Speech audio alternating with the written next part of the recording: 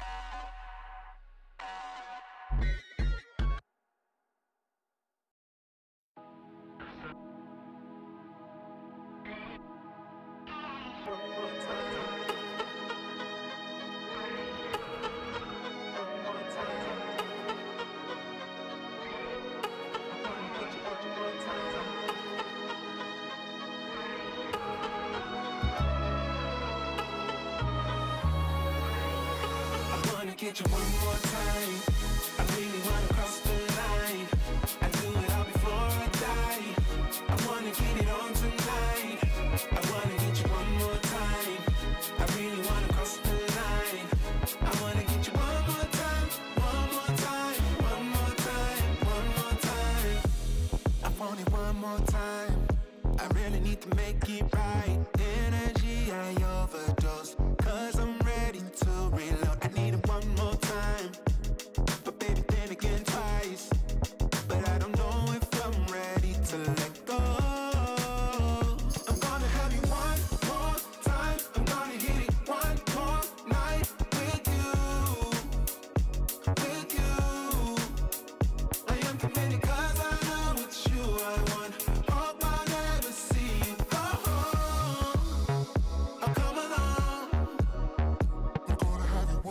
more time. I'm gonna have you one more night. I wanna get you one more time.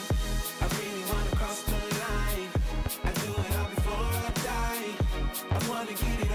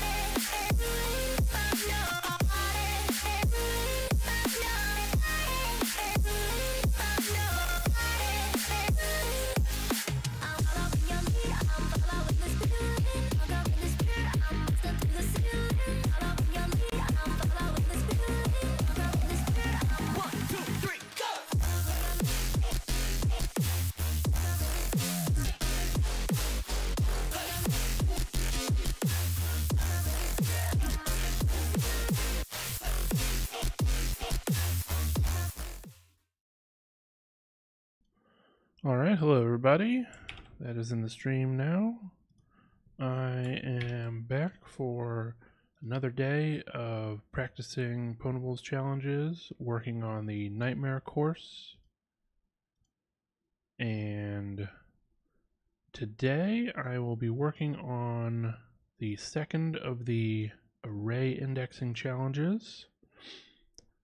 We took four days, I think, to get through this Double Trouble one.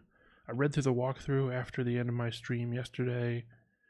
They took basically the same approach that I eventually very slowly arrived at and did a few things that made it simpler to accomplish than what I had uh, been attempting, but largely the same approach.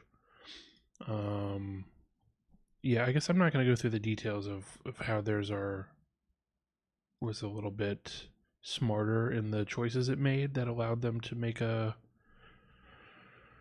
uh, get input that worked properly and then do shellcode and stuff. And they didn't use the helper function at all. They just did a straight up direct shellcode. So, yeah. Um, other than, you know, maybe taking more time to look back and see if I can simplify what I'm doing, I don't know that there's a lot that I'm to that I can take away from that walkthrough. They didn't have some vastly different method or trick that they used really. Uh Triple Dizzle, hello. Welcome to the stream. Uh so yeah, gonna uh or I guess welcome to this day's stream. Welcome back. Um going to move on to the next one. Hopefully it will not be so difficult. Um I am hoping that I can get this one done just on today's stream. Um it's named XKCD. It's from the DEF CON qualifiers from 2016.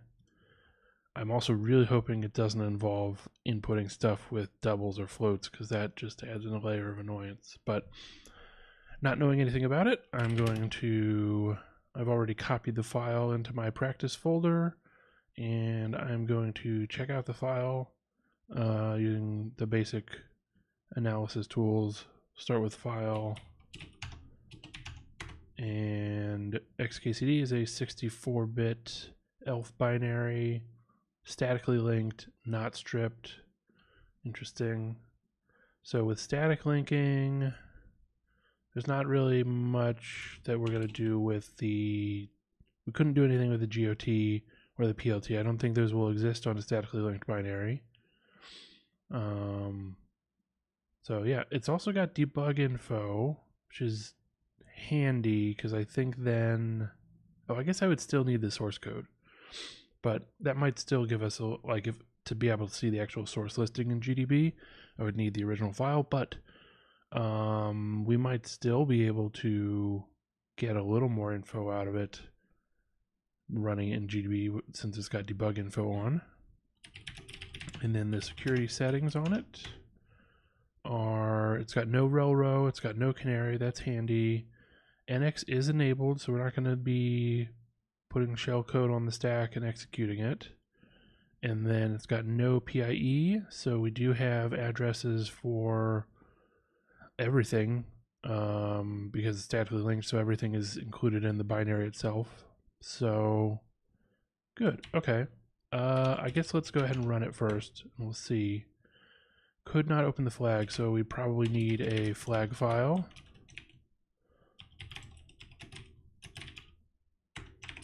which is called flag. Okay, cool. And then I run it and maybe it's waiting for input. Yeah. So it needs some input. We put in a test string and it said that was a malformed request. So let's go ahead and open it up in Radar, see what is going on. What's the sort of non-malformed request that it wants, perhaps. Um, so we'll analyze everything with XKCD or with uh, radar rather. Um, it is a 939 kilobyte binary. Just took a little longer to do the analysis than I was expecting, I guess. Uh, AFL lists a lot of functions, which is to be expected, and it's it's not obvious um, unless they are sorting this in a particularly smart way it's not necessarily obvious that all of these up here are library functions, um, but I'm going to start at the bottom. So we have these functions, which are unnamed, and I feel like uh, all of these down here are likely to be not library functions. I don't think libc or whatever is going to have a free mem3 function and a 3 mem4 etc so this is probably a good chunk of the functions that uh, were written by the application author um okay so let's just start at main it did find main so we can look around here it is going to open up with fopen64. There's probably three. Um, okay, maybe that's just like uh, the internal name of libc's 64-bit version of fopen. I guess that makes sense. And first we set the buffering, like basically set no buffering for standard in, standard out. That's always helpful in these challenges. And then we call B0 on. We zero out 256 bytes of something at this address. Is my guess. We'll have to see. Um, it looks like we are. That's probably the buffer where the flag goes. Because down here we're calling fread from.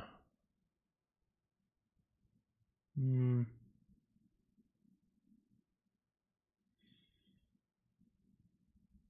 Yeah, so we're storing the file descriptor of, or not the file descriptor, but the actual pointer to the file uh, C file structure at local 18.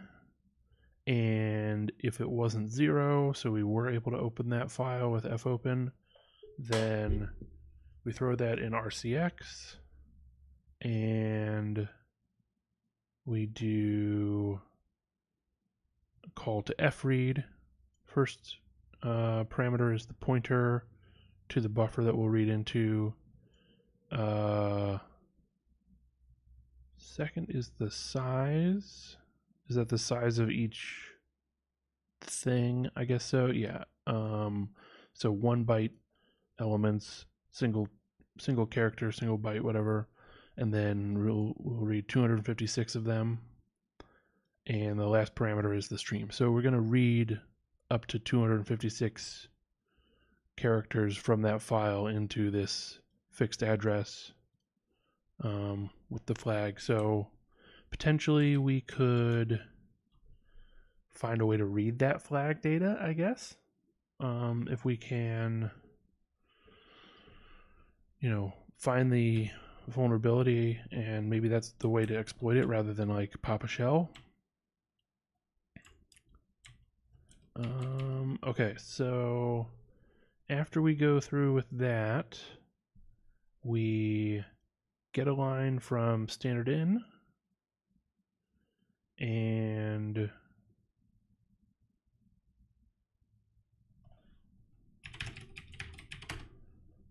hmm.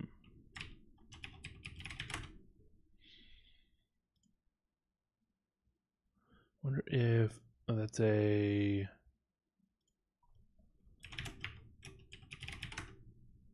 Don't have it in my man pages. Okay. Um, takes a file pointer, first param, and then a length, and returns the pointer. Doesn't necessarily have a null character. The length of the line, including the final new line, is stored in the memory location to which len points and is guaranteed to be greater than zero. Okay. So you say, give me a line from this file. Here's an address to tell me how long that line is, and then return a pointer to the beginning of that line. Uh, so we are passing RAX, so we're reading from the standard in file object, and then we're reading to this buffer. Or sorry, no, this is the address that uh, we store the length in at local 30. Okay. Then let's see. And RAX is going to have the address for uh, like local, we're going to store in local 20 the actual pointer to that line that we just read. and we're going to call token on it, str toke. Just going to search for the character that we are passing in here um, as ESI. I guess, yeah, technically we pass it as a string for the delimiter. So we are going to get the um, pointer to the what is the return value? To the next token. Okay. So rax right now is the beginning of our input string. And then after calling strtoke rax is going to be the pointer to the part of the string following the first question mark that is in it if if there is any question mark. Otherwise it's going to be zero. And i think the idea then is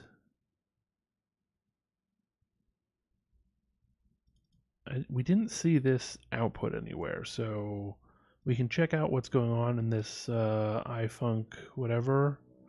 Um because i'm a little curious. But yeah let's look in that function. Uh okay. Can you take me to this one? Um doesn't want to Oh, wait, what? Um.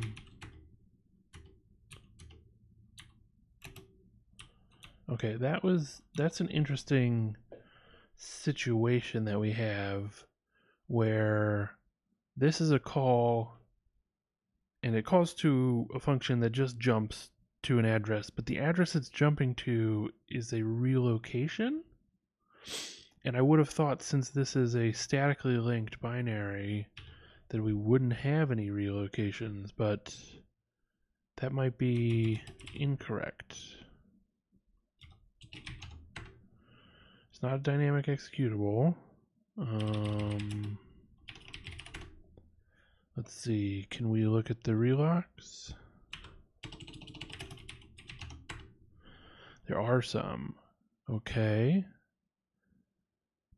Interesting. So it does have a PLT.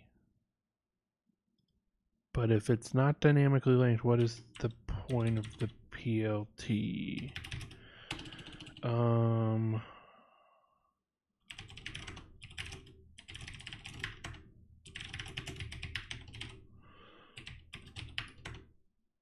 then PLT says it's entry, it's empty rather, but all these relocations are in relay PLT.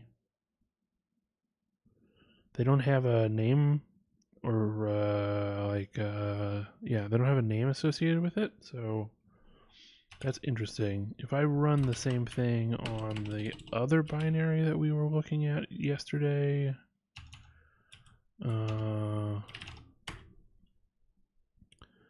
we get symbol names, whereas here we just have addresses. So I don't know where those relocations would come from. Um, they would have to be referenced from a file somewhere, I would think. Unless this is doing some. I don't know. Um, let's dump everything. Do dash A. Okay, so the ABI, we've got all of these functions. And I guess what we could do, I'm gonna still try to just scroll up through this to get to the stuff before, because I don't actually need the symbols right now. Um, program headers, nothing particularly interesting. Other than, I mean, we have these sections. Um,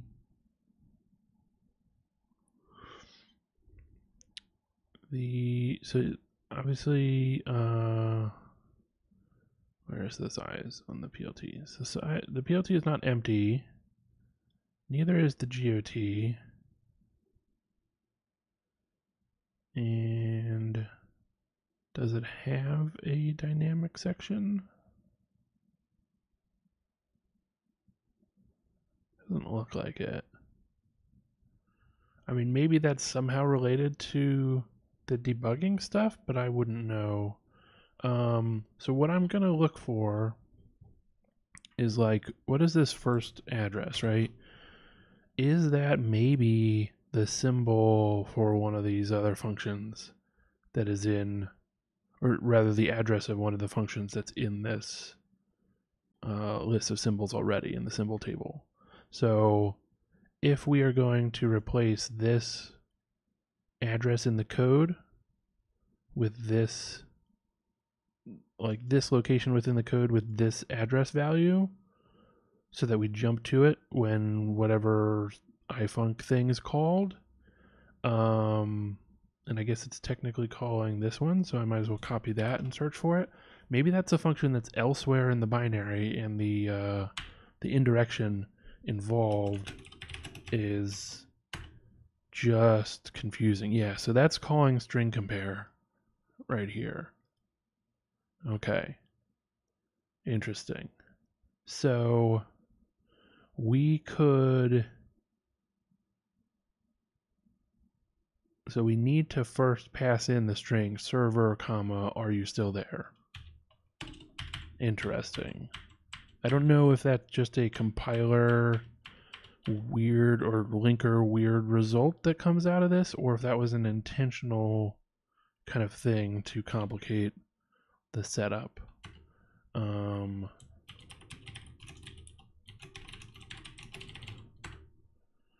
no server comma are you still there? Why is that not working? These two strings should be the same? Or is it rax is going to be the thing that comes after? So maybe you put question mark and then no. I mean i would i don't like you would think the syntax would have the question mark last so i can run it in gdb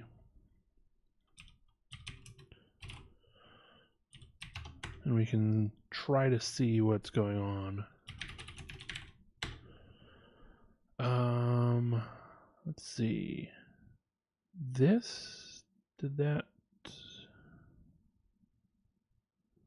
There's a lot of stuff in this function, so it's going to be a little harder to see it without the the nice uh, structured graph output from Radar. Um, so we're calling fget line and then str toke and then we call this address, I think. Yeah.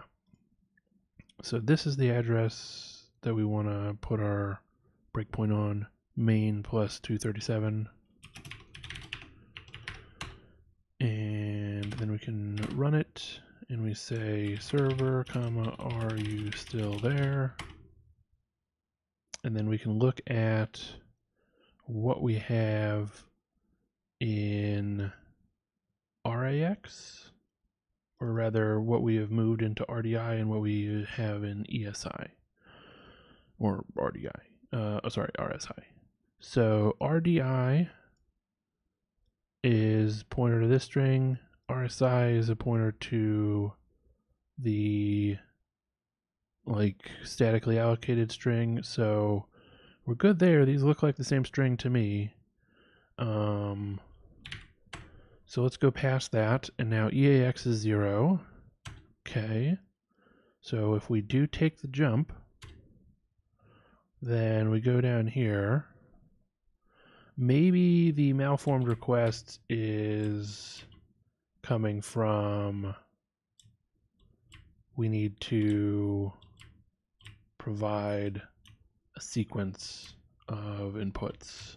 Okay. Okay. Um, otherwise, I guess we are getting to this malformed request. Fine. So then it wants us to input a quote and if so reply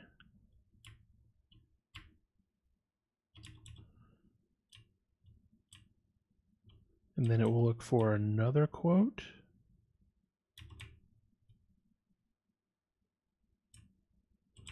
Hmm.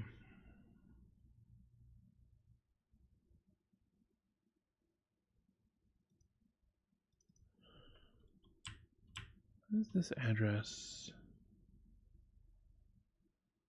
They're calling str togon. Oh, that's the address of the quote character or string, I guess. Um. So we need to pass in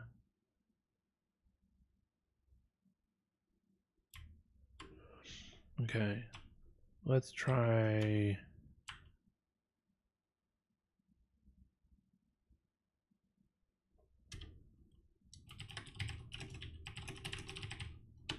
are you still there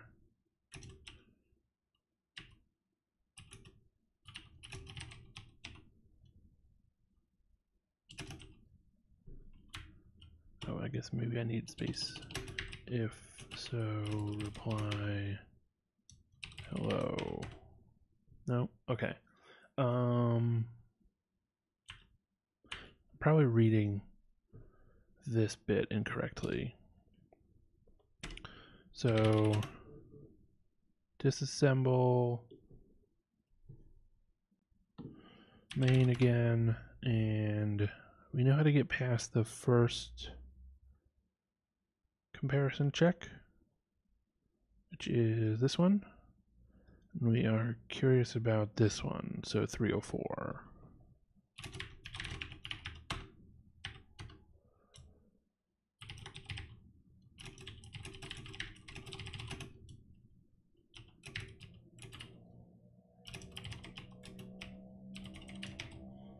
Let's do that.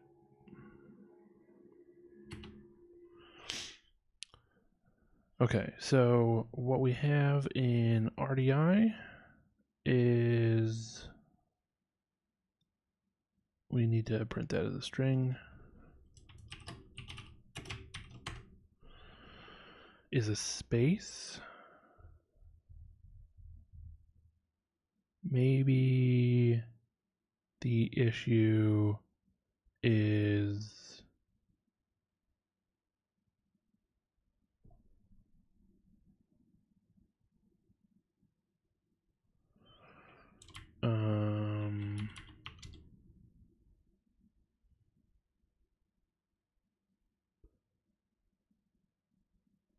Oh, that's my string.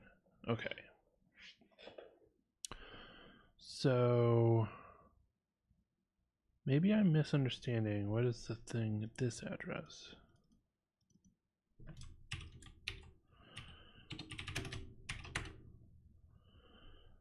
That is um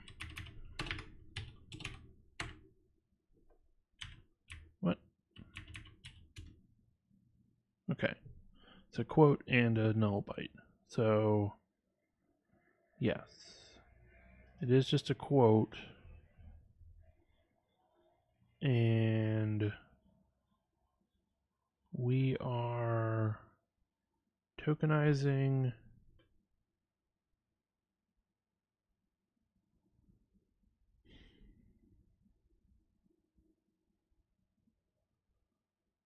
for what purpose? Oh, I see. Um, okay, so what we want to send is like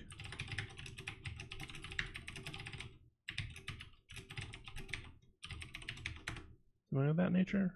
I think that's closer to what we need.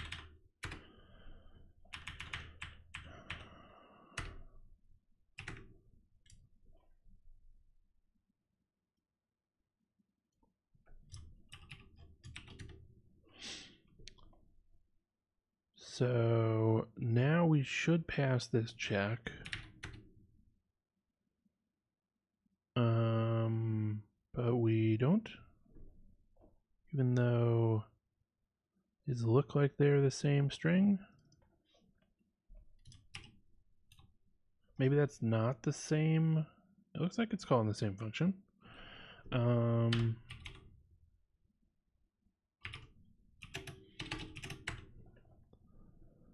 see.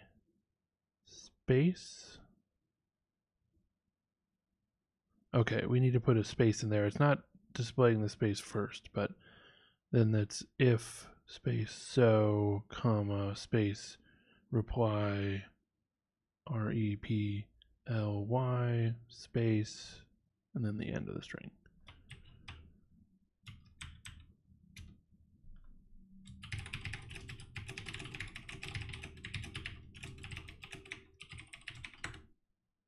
Okay. Now we're getting the seg fault. So that is cool. So after we get past it,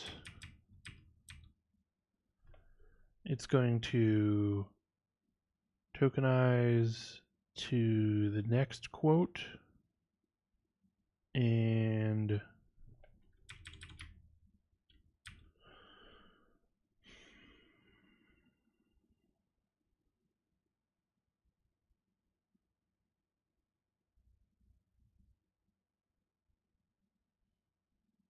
Hmm. So I think it's just reading the stuff after the second quote. Because that's what we get into RAX. If it's not null, I guess. Um, and then we try to call strlen on that. And get the length.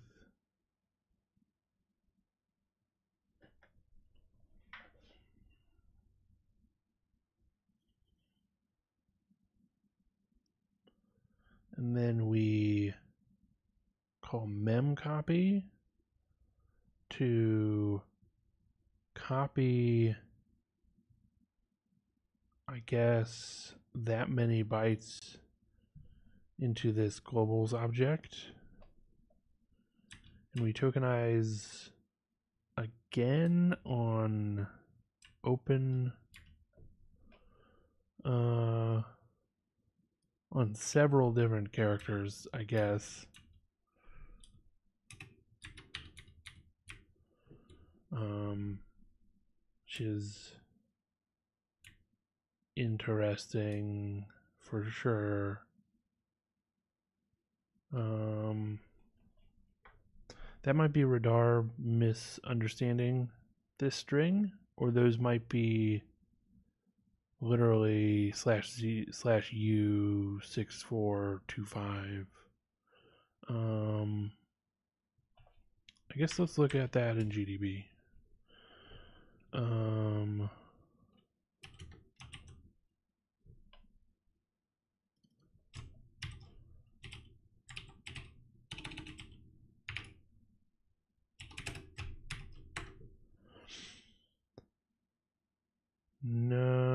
So this is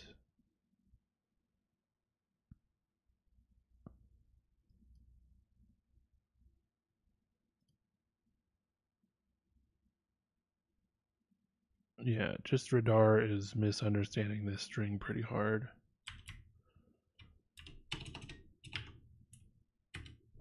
So it's just an open quote and then at seven we get the close quote, and then at nine we get percent %d letters. Okay, so we're going to tokenize to look for an open paren rather, not a, not a quote. Um, and I don't, I don't know what is going on with the highlighting. Um, right, that's the percent %d letters there. Okay. So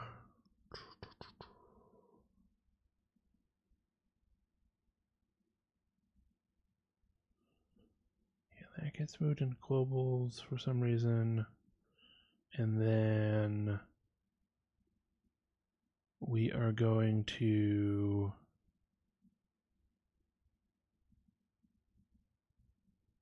I don't know if we end up caring about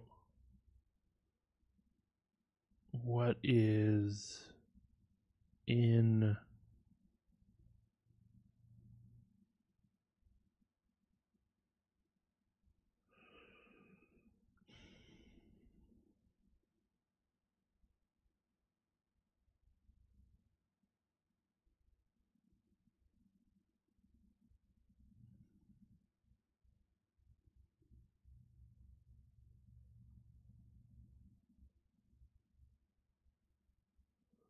So I don't think we care about what's between the open and close parentheses because we tokenize to the open parentheses and that gets us racks points at the beginning of the part of the string after that open paren. And then we immediately call str2 to get to the close paren and overwrite where we stored racks there. So we no longer have a pointer to the beginning of the string that goes inside of those parens. So I think we are skipping it entirely. And then we are loading an address of a stack variable into RDX to be the third parameter. And then we're going to write into our string, I guess.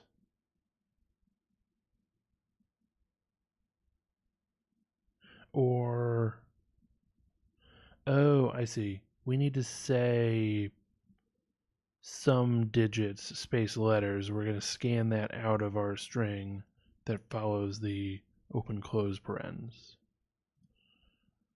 Okay. And then that number we are going to add we're going to set that byte in the globals thing to zero. And then we are going to call strlen on globals again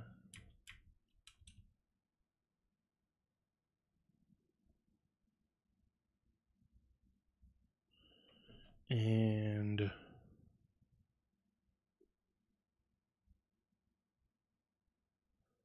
what are we going to do from there?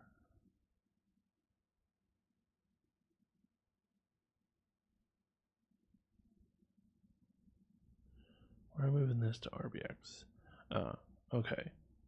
So RBX being the number. So if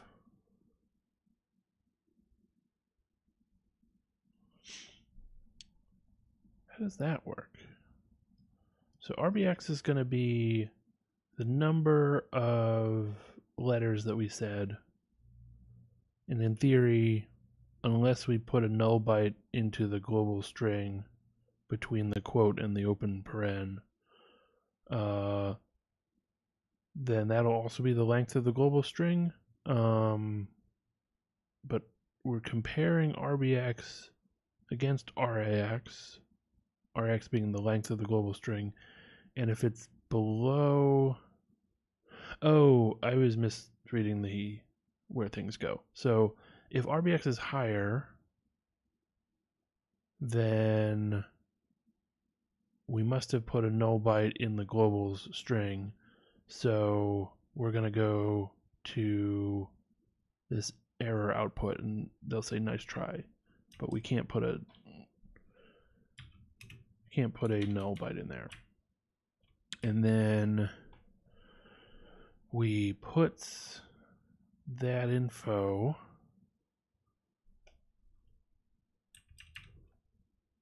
we move the address of globals into yeah, and then call puts on it. So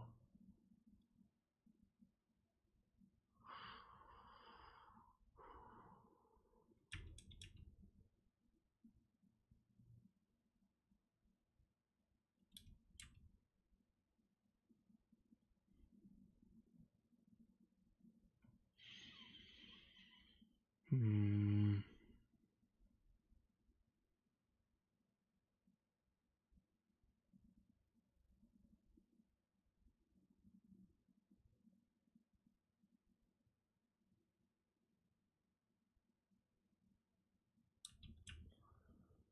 And when we call puts, we just come back up to the beginning of our taking input. So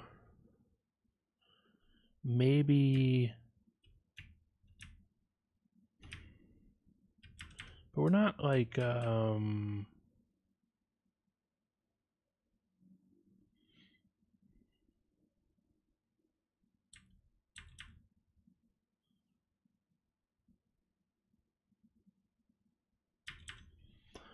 do we just need to put a number in here to force like we can essentially set where we put null bytes? And that's i guess enough to exploit this? Um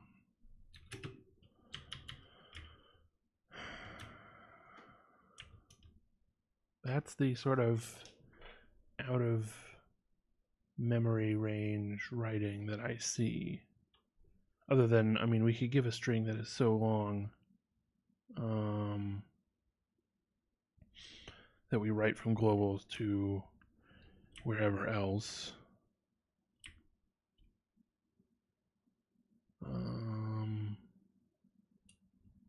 I don't know where globals is stored.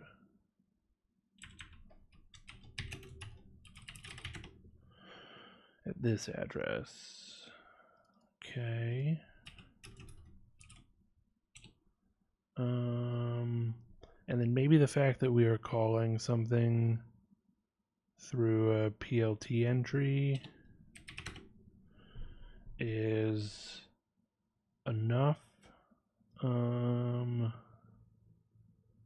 so we have the the offsets is at 6b73 this is at 6b3 but we could mm, i don't know that we can just write to it um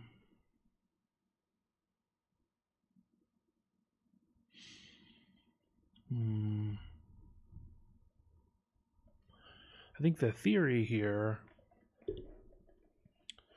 is that we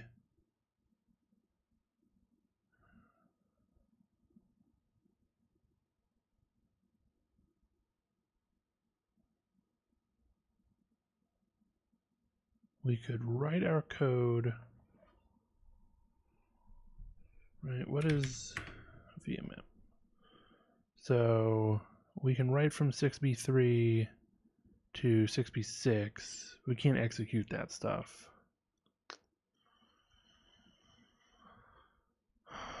Hmm.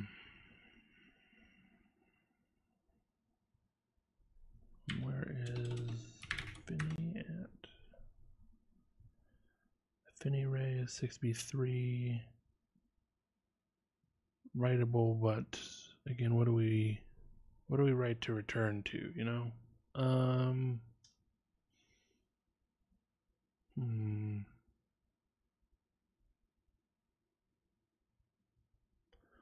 We could look for system.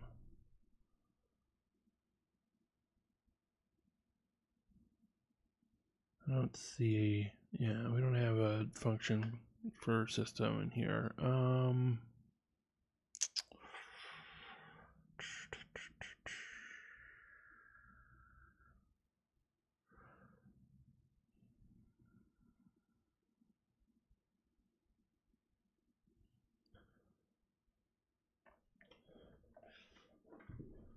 So how can I make use of this? I think we can leak arbitrary data by specifying a number in the percent D letters that is larger than the actual amount that we gave. And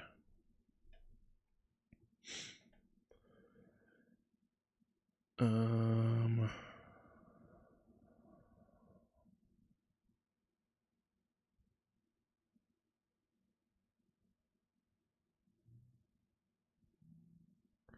course, it's only going to go up through the first null byte in whatever data we're leaking. So it probably doesn't get us very far.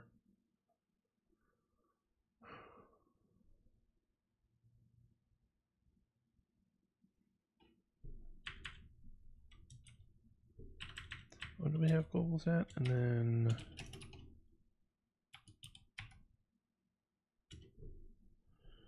I do have a bunch of stuff after it.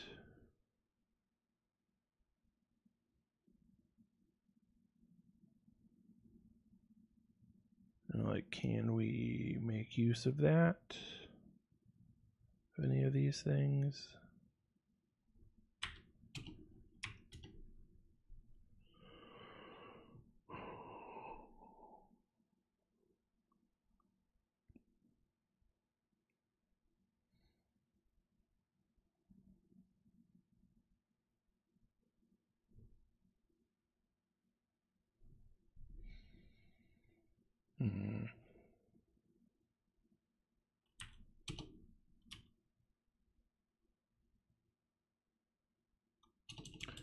Was VMM map? Uh, 6B6? It's the end of the writable, actually. So, where, why is this stuff in 6B7?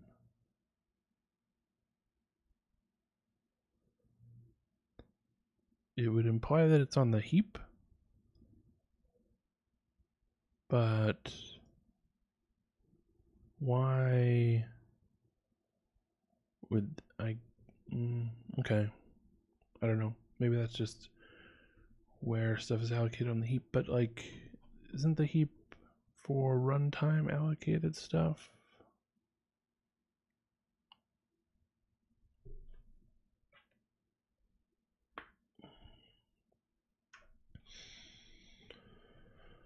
Um,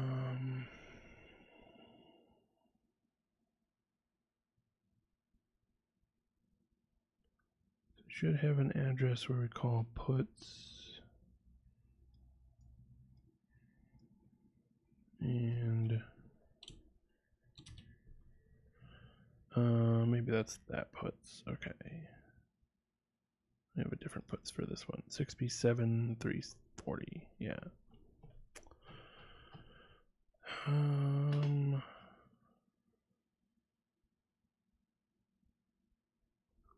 so it's definitely in this section. I just don't get why it is in that section. That's fine.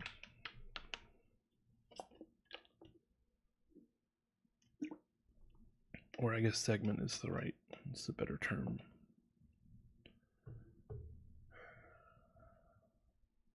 So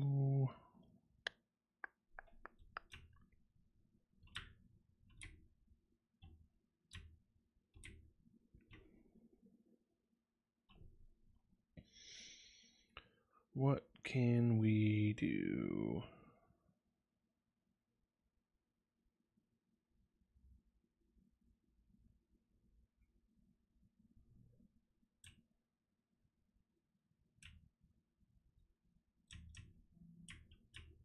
I don't think we can overwrite anything in the global offset table.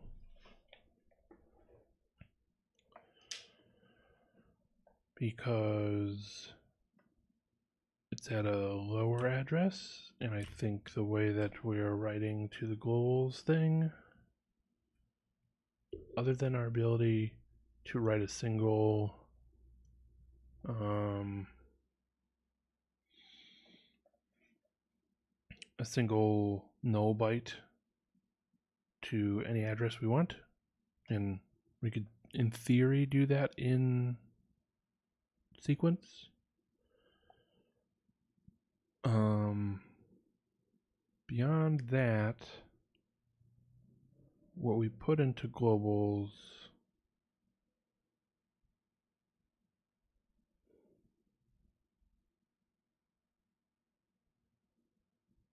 if we change the well we're gonna have a like random stack layout so i don't think we can modify stuff that's on the stack.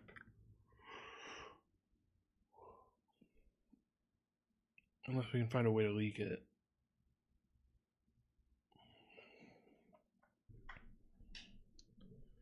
And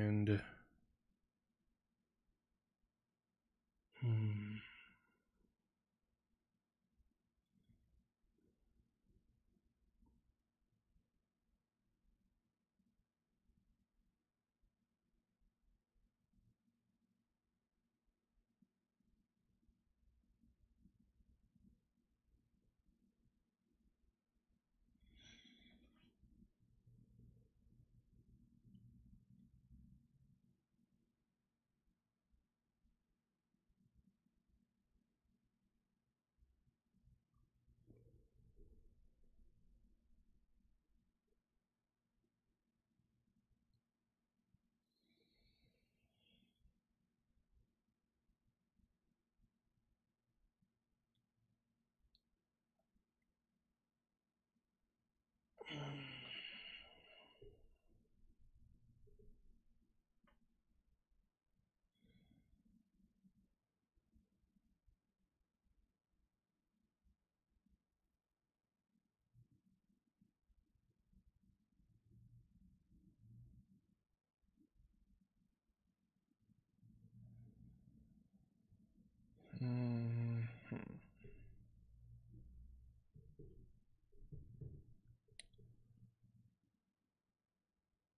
Yeah, I mean, this is a very.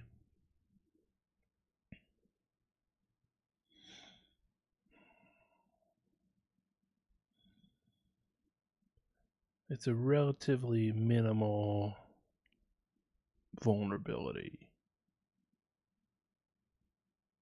And so I, you need to be more advanced, I guess, in exploiting it. Um, sort of makes sense for DEF CON qualifiers, CTF challenge. But I'm not feeling like I'm going to come to any nice conclusions about what I can do with it. Um, anytime soon. Um, what we could do is just verify that what I think is possible is actually possible.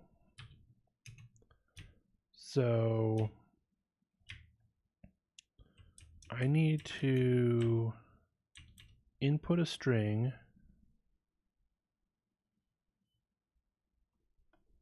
Let's start our exploit code.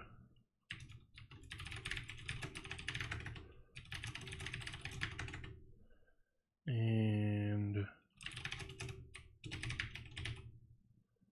skcd um say our payload is going to be what was it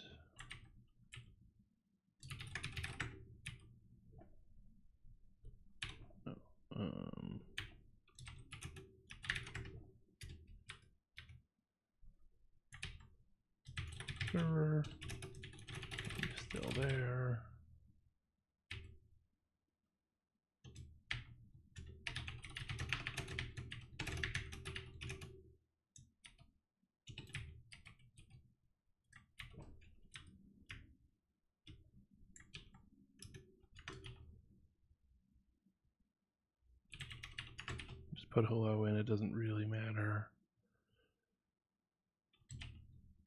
And then you can put anything in here.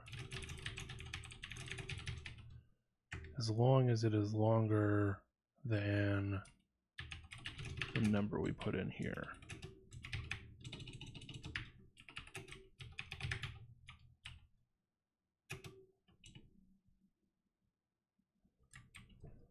Pretty sure. Or wait a second. It was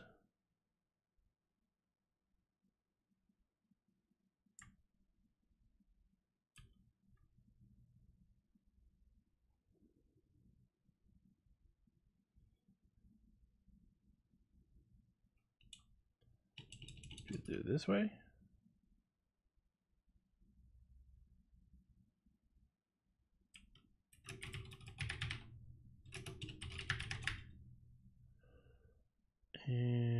Put in negative 1000.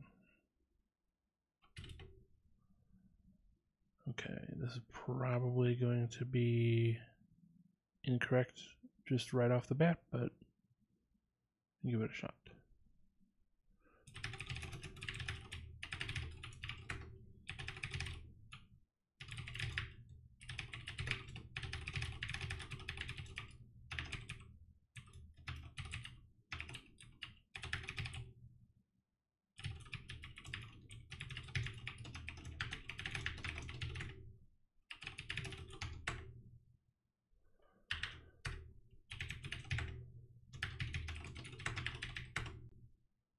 Nice try. Okay, so did something wrong in terms of understanding maybe how it gets parsed. Um, we can run this one.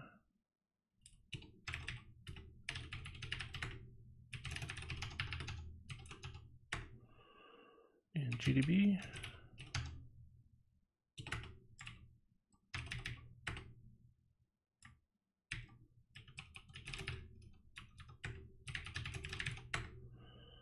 Let's look at what comes out of str toke maybe?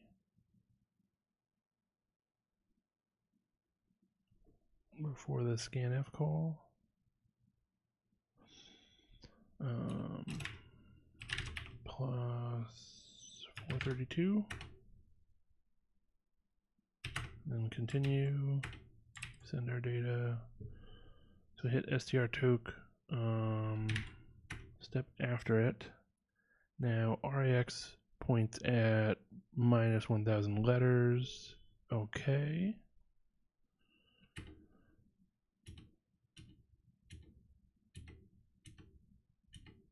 So then in theory the scanf is going to put onto the stack at minus 2ch the value minus 1000 um, and then we're going to put that into EAX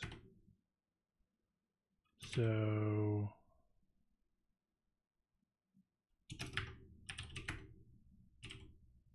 um, how do I just print racks? No.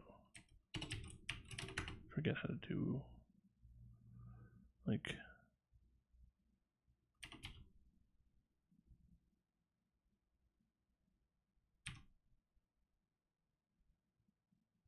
mm,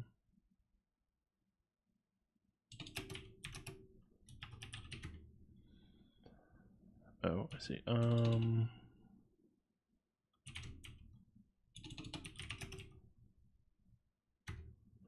what are the formats that we have? Decimal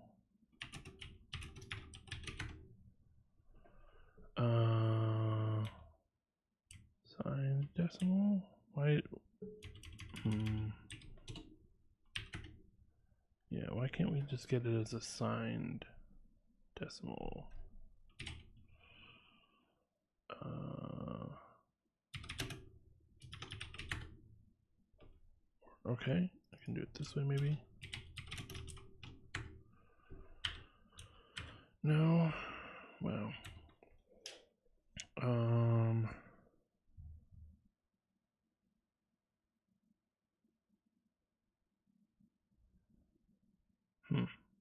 Yeah, I don't know how to provide the format to print for making sure that this gets printed as a signed decimal value. But C18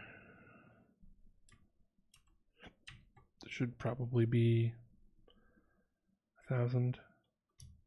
Um,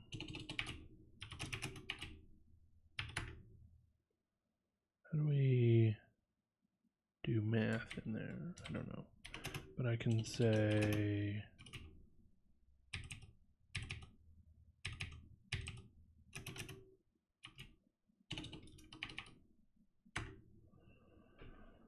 Yeah. Okay. I think my off by one is just from the way that the two's complement works. So, okay. So that's negative 1000. And. Oh. But the length of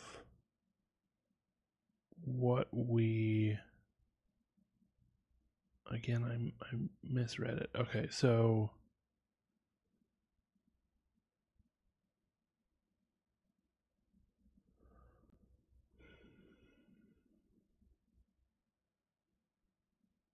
No, the number that we scanned in has to be less than or equal to the size of the global. So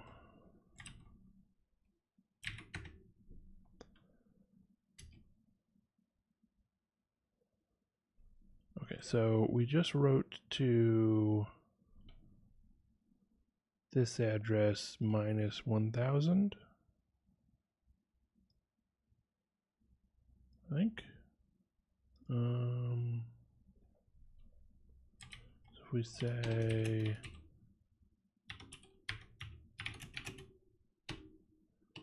six B seven three forty, or we could probably say abstract globals minus one thousand. Um, no. Oh, uh. There we go. So if we maybe look at this address, one byte at that address, it's now zero. So we were able to get that right, but then the program quits out.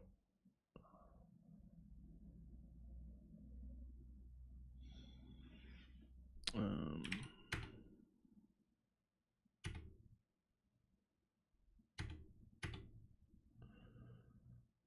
and so RAX is 5, RBX is our negative 1000. So not C or Z.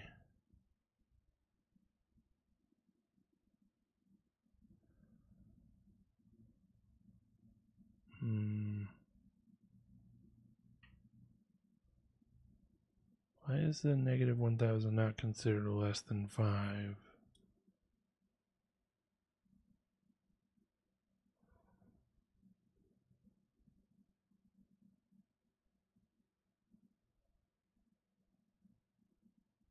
Because it's not small enough.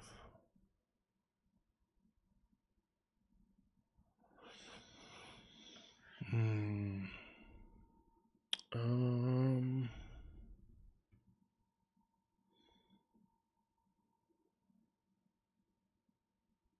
Could have sworn in some earlier challenge I was determining that the comparison is a signed comparison.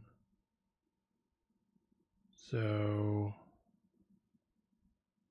I guess we have set the sign bit, but jump below or equal is different than jump less or equal. Um,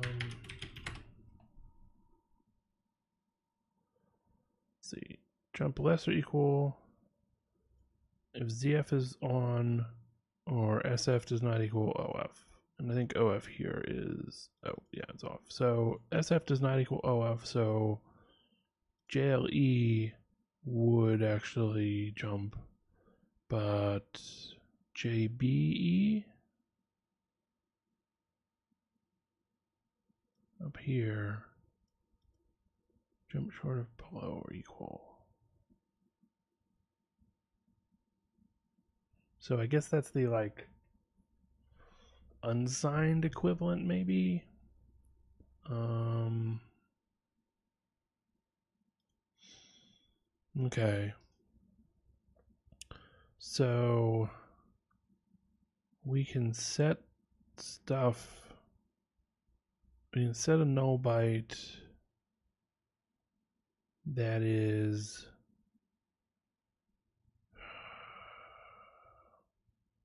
I mean now I don't even know.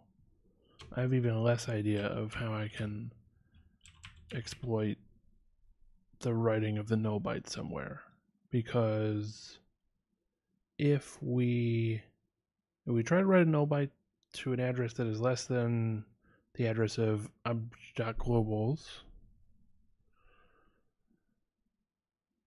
we are going to quit out right after. So unless we are doing it in a way that somehow impacts on Sterling or puts or exit or something, um, and I don't, we can't write to the executable segment. So we can't just modify how that code executes. Um,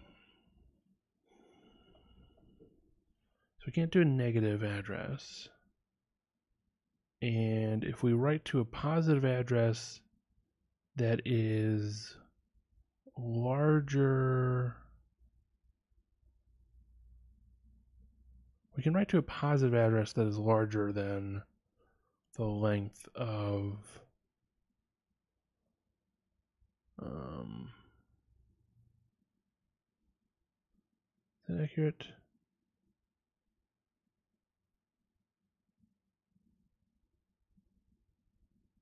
So the length of globals is longer than the number of letters that we mentioned.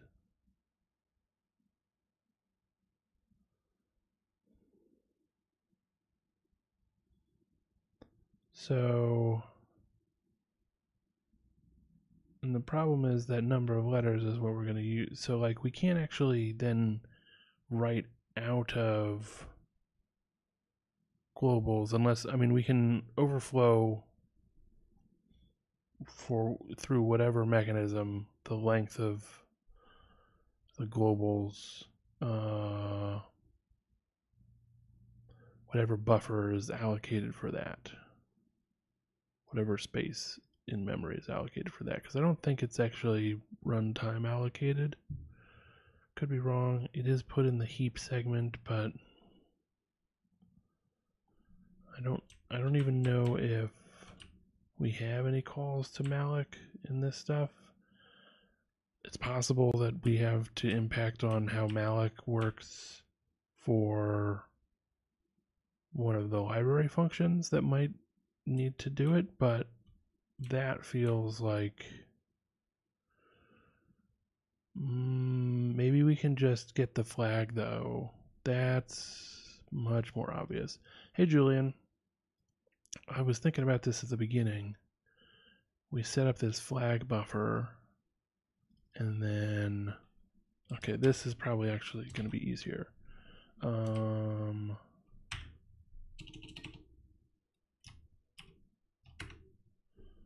It's the other way around. Uh, okay.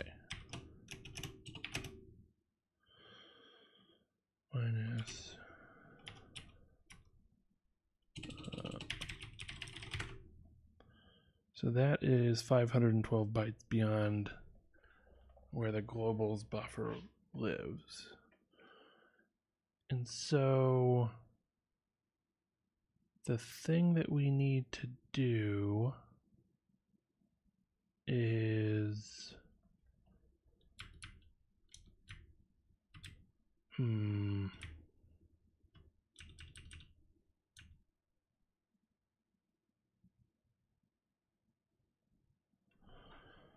We can call this multiple times so I think there's this sort of we need to get that much into globals and figure out where it has the null byte, I guess. So we can write beyond that. Um, hmm. And what do we actually have after our test input? What do we have at the address of globals, which is uh, this one?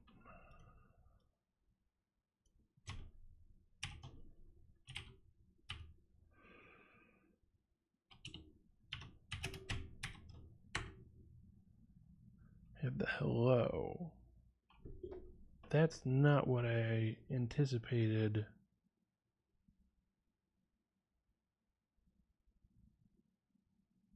But I guess so. Yeah, and then we don't care about the parens stuff. But maybe the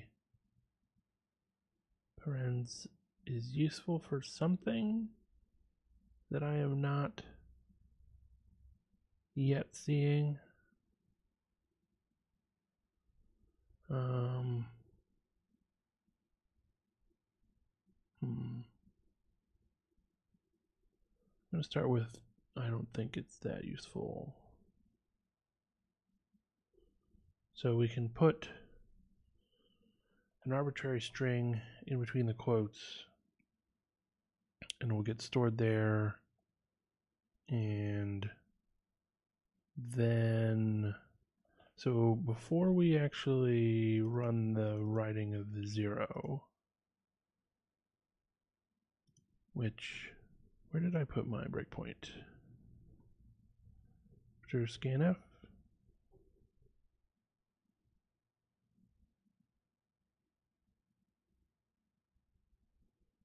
I put the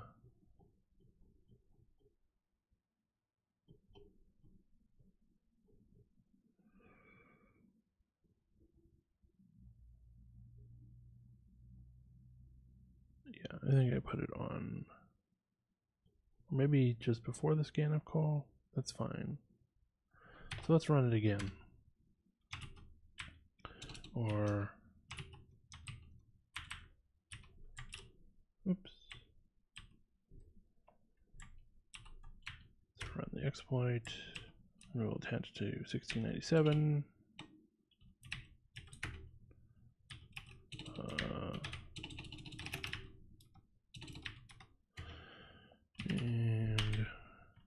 Do the breakpoint line again. Um,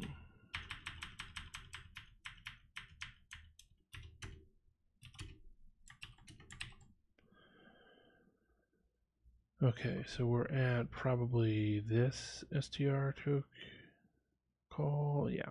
Um, so then we can look at what's in globals right now.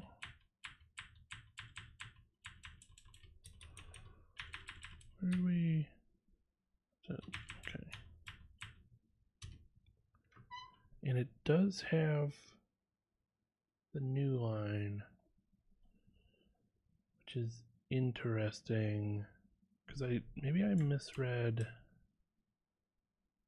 how str2 works. Um,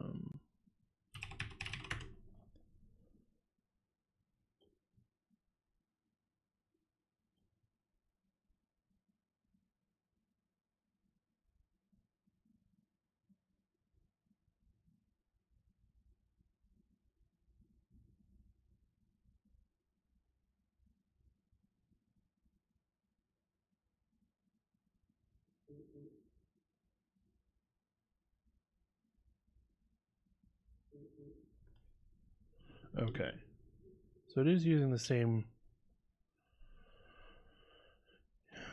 It's going to null terminate our global string anyways.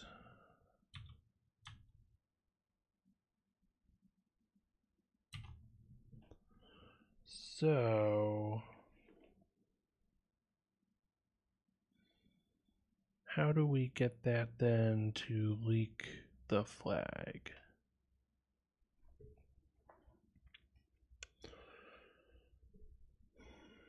Because we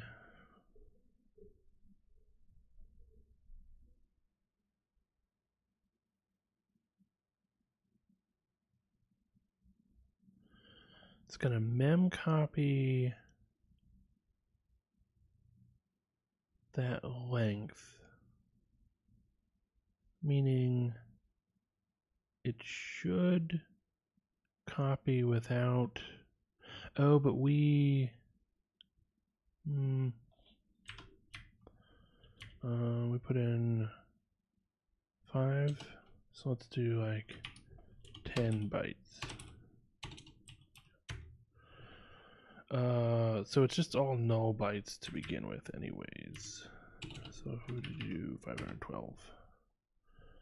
Okay, so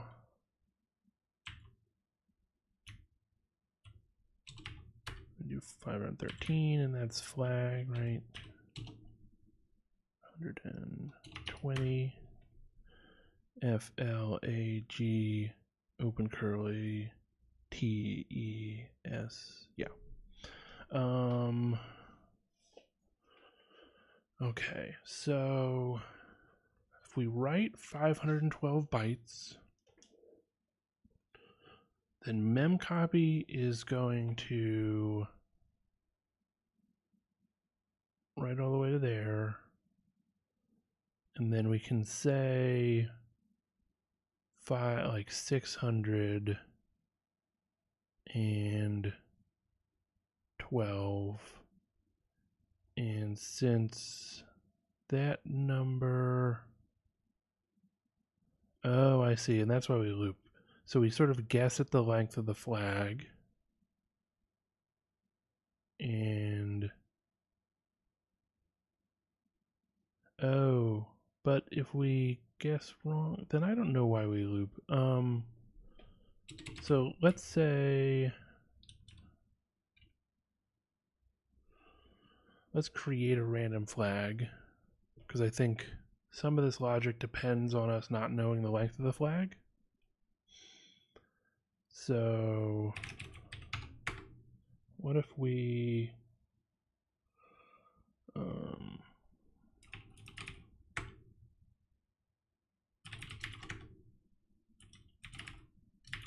random work? Why did you Python random? Rand int. Random dot rand int. Very old. Um, maybe that's still. Okay, so with open flag. Um,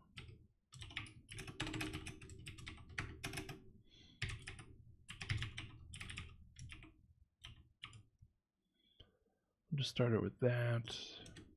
And then for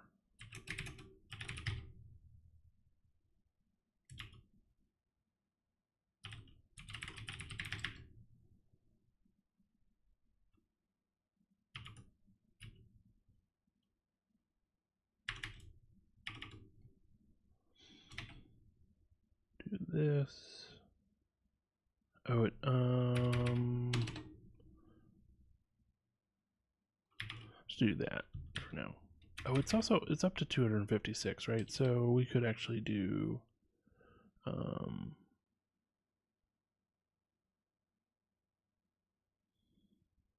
let's do 245. Then dot write the character from um,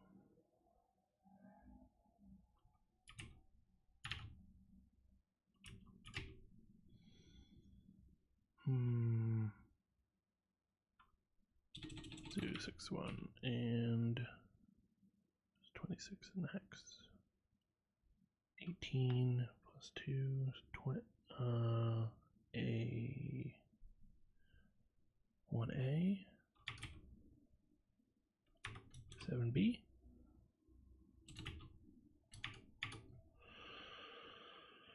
um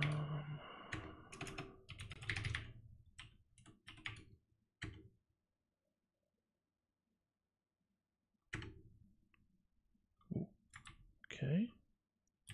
Let's cap the flag. Just double check that that code worked. Uh, I am getting letters that are not what I want. Okay, so it is, it's inclusive, I guess, the randint. So I need to do 7a. And I- my math is just wrong.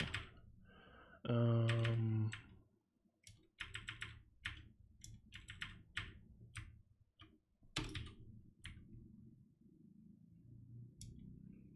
what? Oh, indentation. Okay. Uh, did I write that wrong now? Okay.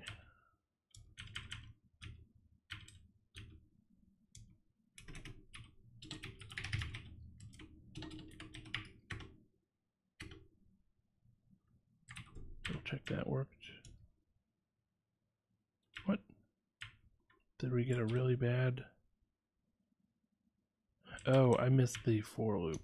Oh, jeez. Okay.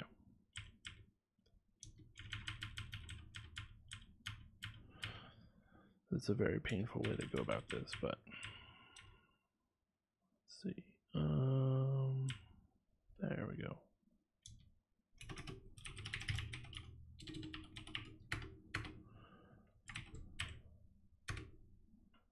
All right, that looks fine. So we've got a random length of flag that should be long enough to fit into that should be short enough to fit into the buffer of 256 bytes. And but we don't know how long it is so if we do yeah where does like so we tokenize to the end of the quote i would have thought this is the string that goes into globals but apparently I don't know how stuff works. Um,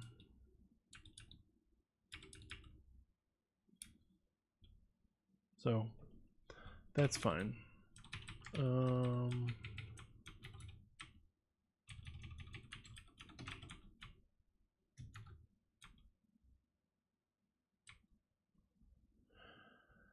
Oh, that's why. Okay. So we. No, that doesn't matter. Um.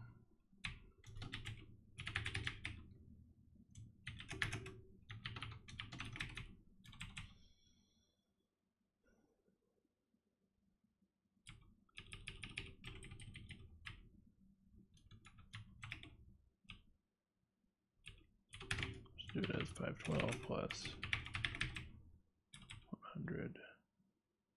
101. Do it this way. Um, huh. Okay. Got the wrong length or something.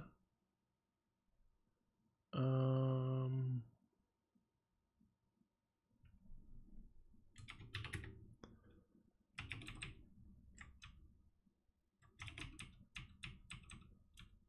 Present here, and we'll do GDB here. Do I? Okay.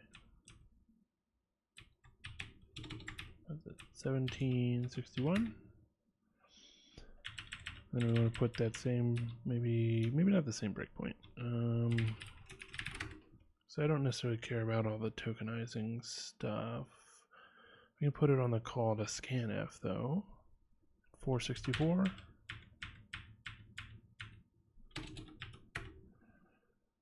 Continue, send the input. So, what do we have in globals?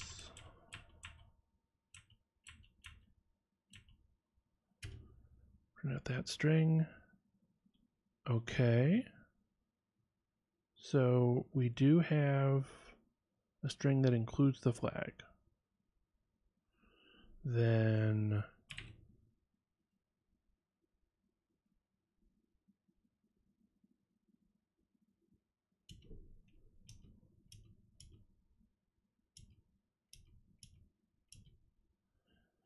what we're getting is Rax is that and okay.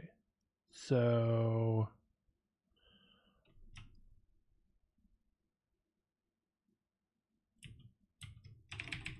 I think we just need to loop this then. Um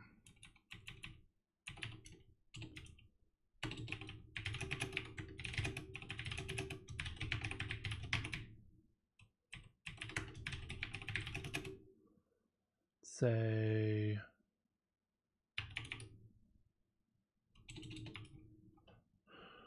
uh 200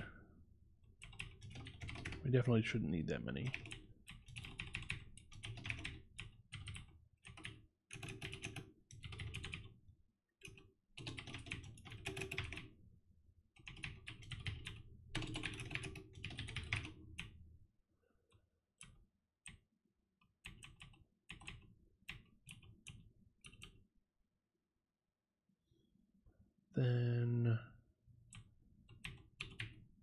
let's rather than generate a bunch of strings in Python, and say payload start is that we'll just call send. And target dot send. And actually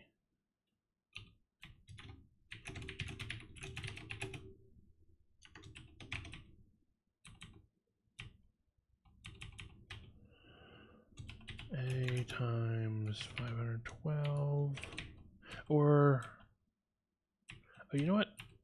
That's fine. Um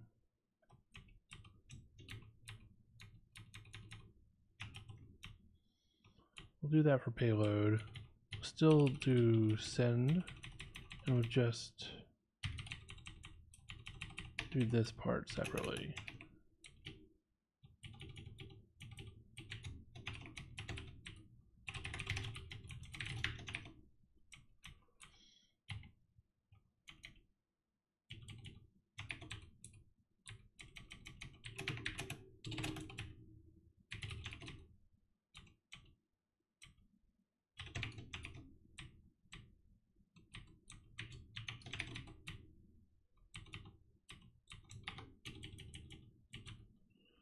Okay, and then get the results. If nice try not in res then print res and break. Otherwise tries plus equals one.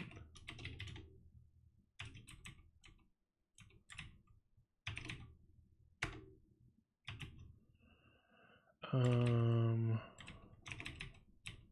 oops. Where are we? I'm gonna say with context.local um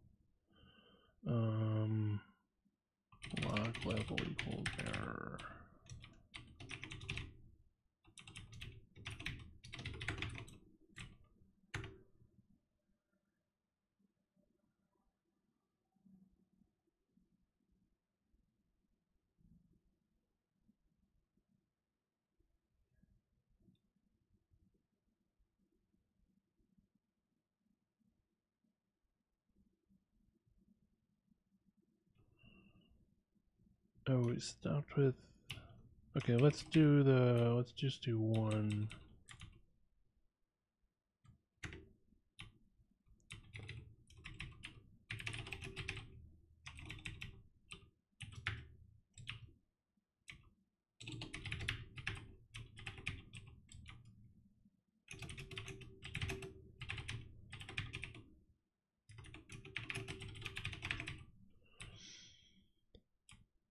Right.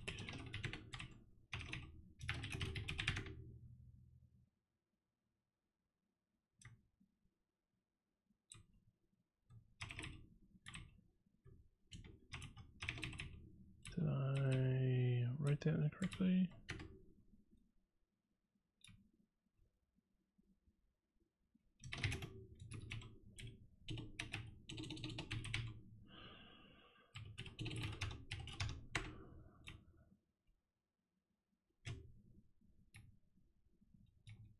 Looks fine. Okay. I guess I need to set the log level.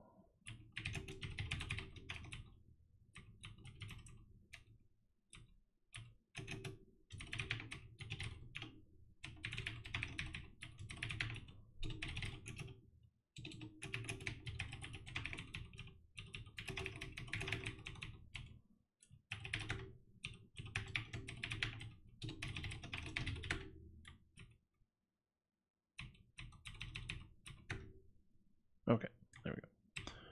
Attach. Oh, uh, two two four three, and then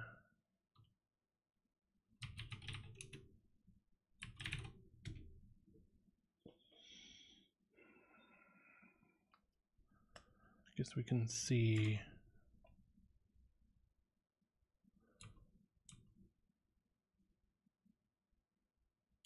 Oh, that's one approach. You know what? I'm going to just continue on this one. And um, let's say if flag in res, then we'll print. And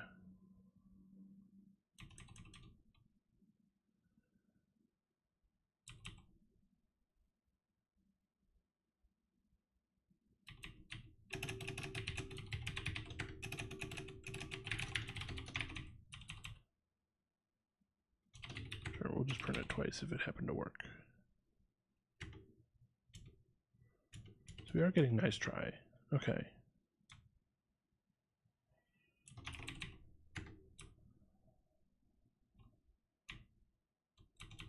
So in theory, we are sending a shorter amount each time. And that should eventually get us the result that we were looking for, but it also might be that I am sending the wrong because I switch stuff around here. It's possible that I'm sending the wrong uh, structure. I don't know. Uh, like structure of the payload itself.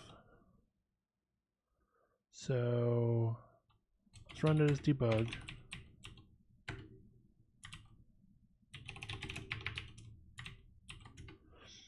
And then our breakpoint we want on scanf, I guess.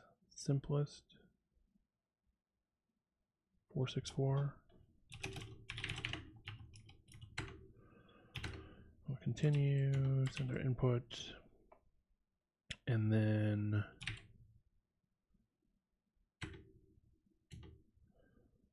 so we got 300 into racks. and the comparison is is 300 less than 291 both hex. No. So we fail. We'll continue. And then 2300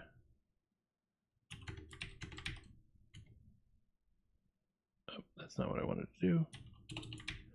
2303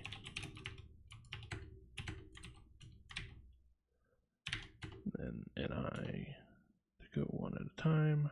So now we're at 2FE. Okay. So, yeah, that seems fine. Um,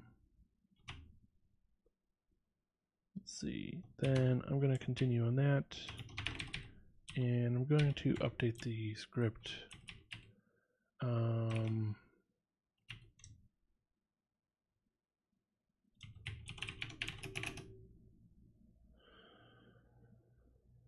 um,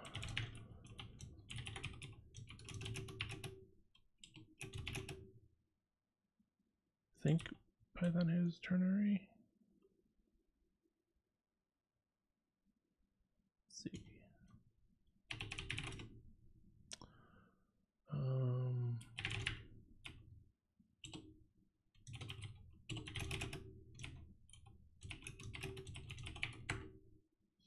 nope, does not. Okay.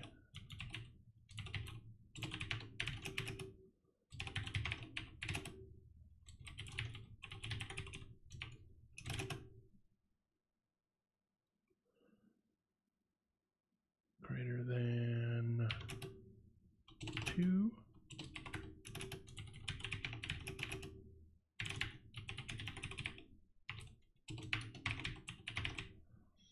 And what we'll do here is we'll say if debug and debug on. So we put this stuff down here.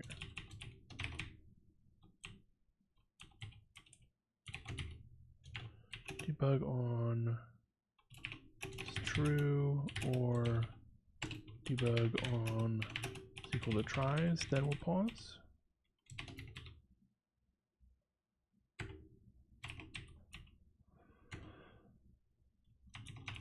Versus it's going to do it five times. Okay.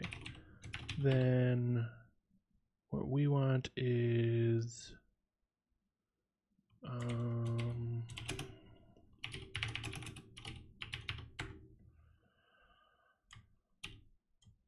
uh 111 let's do 110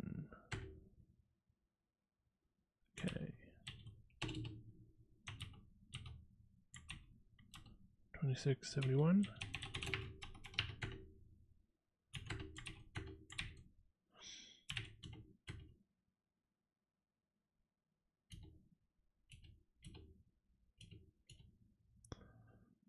So now 292 is not less than 291. Okay.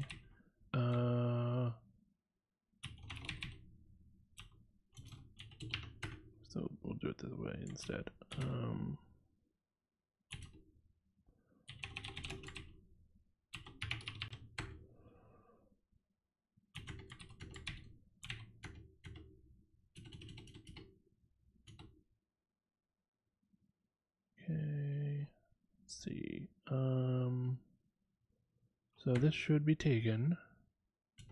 So now we are going to print out that stuff and jump back. Oh.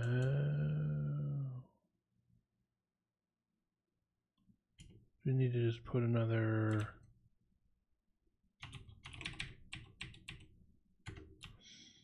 Um.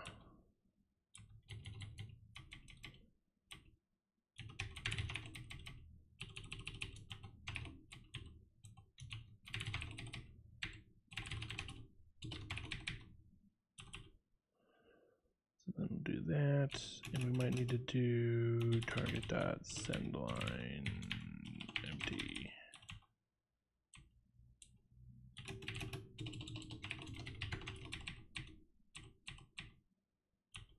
Let's do it without debug. See if that works. Uh,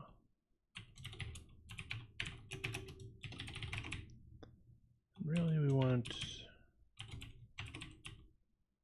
or less than or equal to yeah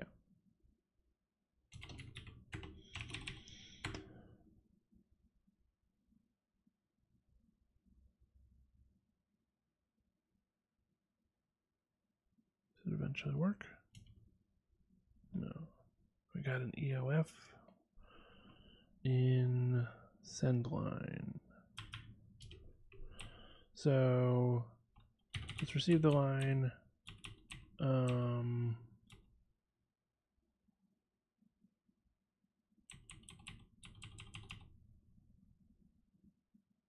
otherwise, we do.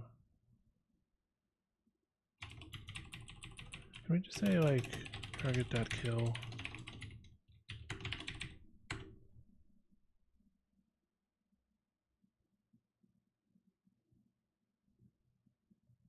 Because on one of these it should put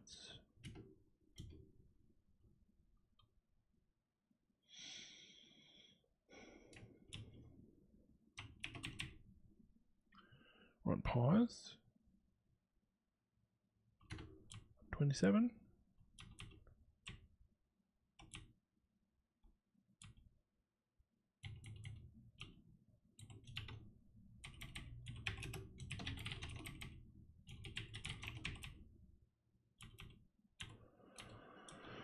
Um, just gonna. Oh, you know what I want to do then? Let's do it that way.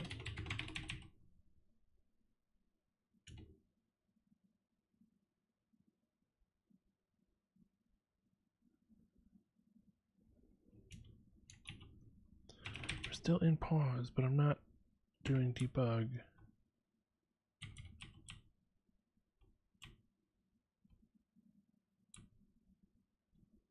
So why are we hitting the pause? If debug and debug on is true or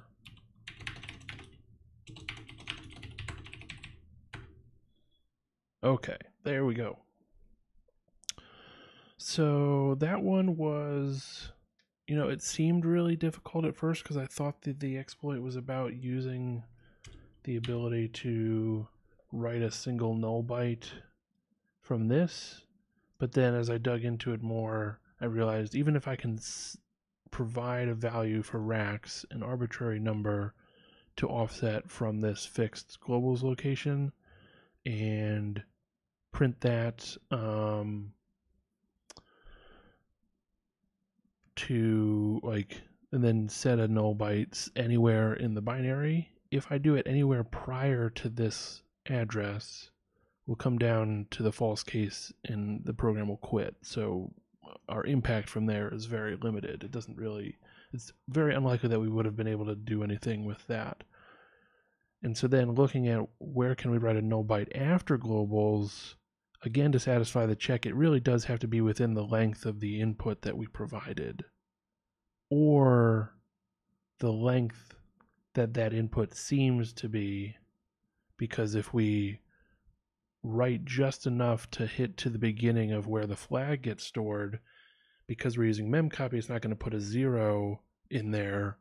That's what this code is for. It's supposed to put the zero between here but if we give a length that's long enough that it goes after the flag at the same time it has to be exactly after the end of the flag. So that's why we did the loop we had to repeatedly attempt different locations to place the zero could we put it here no that's too long could put it here. No, that's still too long. And then eventually we get to putting it right here. And that's exactly the length of our combined junk string to fill up the globals buffer and the length of the flag, which we didn't know. So you just loop enough times until it works. And then it'll print out that whole string for you, which includes the flag at the end. So I'm going to read through the walkthrough, but I think that was what was intended. And this one yeah turned out to be a lot more straightforward than the double trouble one at least as as far as my experience with it. Um let's see. The challenge also gives us a link to this xkcd comic. So let's see that's probably where the text that you have to send comes in from. And maybe it's one of those sort of like the very classic XKCD comic about Bobby Tables. Um, just somebody saying one character saying to another character uh something that involves like some code so it would be a buffer overflow kind of thing maybe. Heartbleed. Interesting. Oh because we uh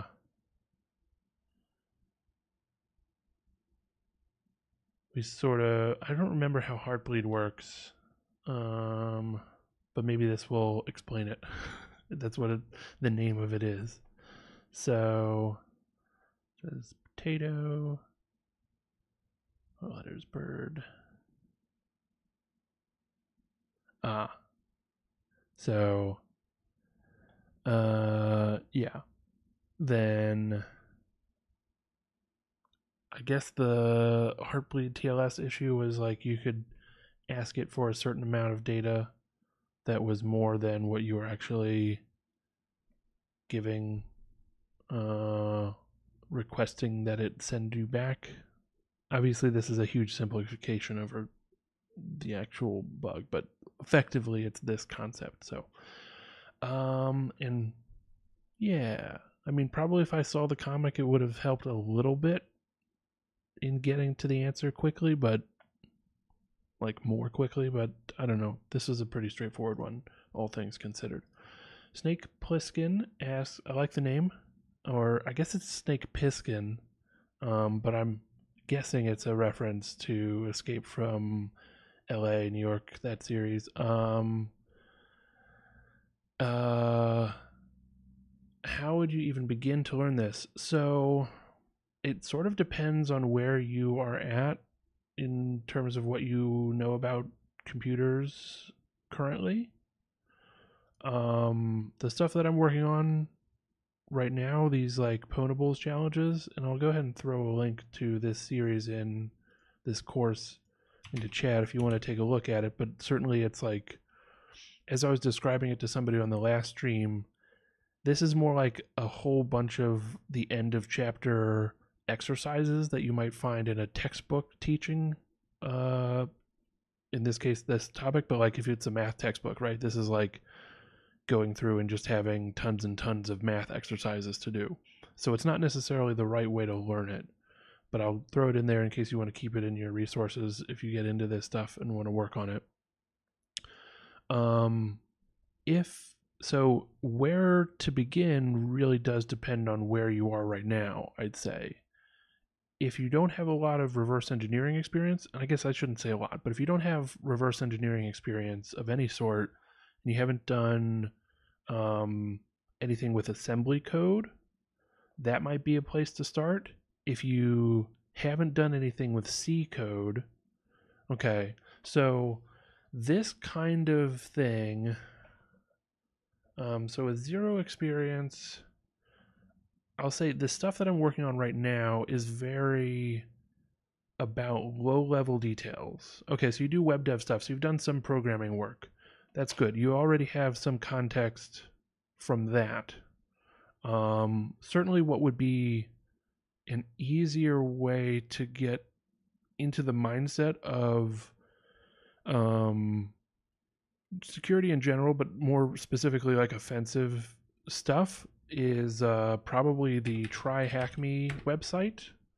Uh, there's definitely a bunch of other people on Twitch that stream doing Try Hack Me challenges. So if if you haven't seen those, I would check those out. I think Optional CTF uh, does that stuff like almost every day, and there's there's a sequence a set of other people for sure that do it. These are more web focused uh, challenges in large part, and I I'm recommending it as a way to start just because you already have the context around web development stuff. You know how a web application works, you know how a web server works in terms of HTTP requests, that kind of thing. And so you can start to get this sense of like, oh, if I wrote the code this way, that opens, that represents a vulnerability that if somebody sends a very specialized request, what I didn't intend the client to actually send, uh, then they can sneak past whatever protections I had tried to put in. And once you're in that mindset of thinking about, okay, here's how the system is intended to work, but here's how we can look at it to find out if somebody does a very particular thing, they can get it to of like work in a different way than we intended as the developer. So what I would say is you're already in a really good position having done some web dev, um, or maybe a lot of web dev. I don't know, but like as much as um, there's a push in infosec to not be very gatekeeping about like oh you need to know how to code and stuff to be able to do infosec and i largely agree with that the more you understand about coding stuff the more successful and uh the the better that will like that's just going to help you be better at doing offensive security vulnerability research kind of stuff because you need to be in the mindset of the person that created a thing and then be able to think beyond just what they were thinking when they created it. But if you don't even understand why somebody would create a web app in a particular way, why the code would be structured a certain way or something, it's going to be really hard to envision how you can subvert that, I guess. Or it's going to be harder to envision it that way. So lean a little bit on on your existing development work um, and then try to add this additional way of thinking about it which is really like a very intense way of thinking about what bugs could be in your code uh, you say so like binary trees linked lists stuff like that um, some of that could be in there um, it's sort of I mean, that's like data structures, algorithms kind of stuff. And there are potentially vulnerabilities that could come from that. I think a lot of times the vulnerabilities that you're seeing in a web application probably aren't on on that level of stuff. It's more um we are like parsing of parameters in something. So um a very classic kind of bug is like if you this doesn't happen anymore with like Ruby on Rails apps, but it was the case early on in Ruby on Rails that maybe you have a request where you can say like user ID is equal to whatever, right? And that gets put into a structure in the code into like a, a dictionary. I don't know what languages you're most familiar with, it would be like an associative array in PHP or a dictionary in Python or a hash in Ruby. Uh, so it gets put into one of those structures with a key value kind of thing.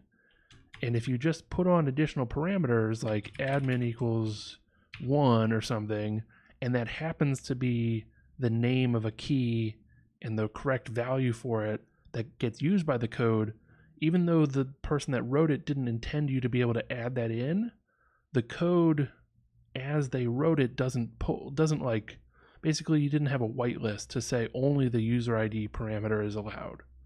And so you can stuff more parameters in there and get access to things or control over stuff that you yeah, writing a property on an object. That would be probably the JavaScript terminology. So if you maybe are doing like a Node.js, Express.js kind of web server backend, if you just pull all of those parameters and put them in an object and then pass it to a function that doesn't know whether it's supposed to use the admin property or not, like it doesn't know, hey, this came from a request where we should ignore the admin property if they did put it in there because they're not allowed to force that value in. So that's the kind of thing. Um, exactly. You rewrite the default, right? And then you can control the behavior of the application in a way that was not intended. And so, really, where you get to um, is is being able to think about these uh, pieces of code. Yeah, you renamed it to what you probably as the person trying to hack the system, you just sort of guessed, hey, maybe there's a property name this, or in a lot of these web applications, the framework is open source, so you can go read through the source code and see, oh, it, it has a property named this, and it has that, and it has such and such impact if I put that property in there. Um, so then you can sort of subvert what was intended by the person that created the application.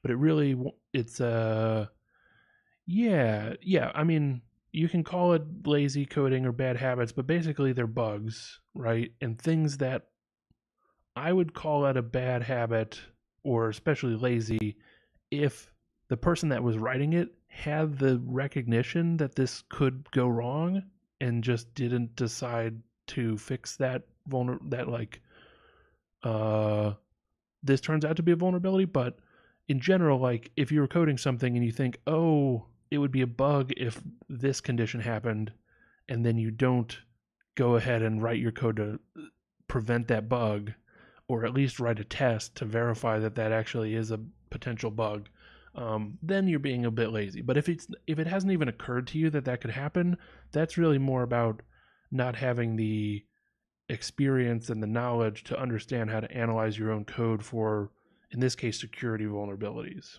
which are just a subset of bugs in general when you're thinking about it from the developer standpoint and then cross-site scripting is a big source of that so i think if you do try hack me you can get experience finding and exploiting those sorts of vulnerabilities that are more in the vein of probably what you're already experienced with.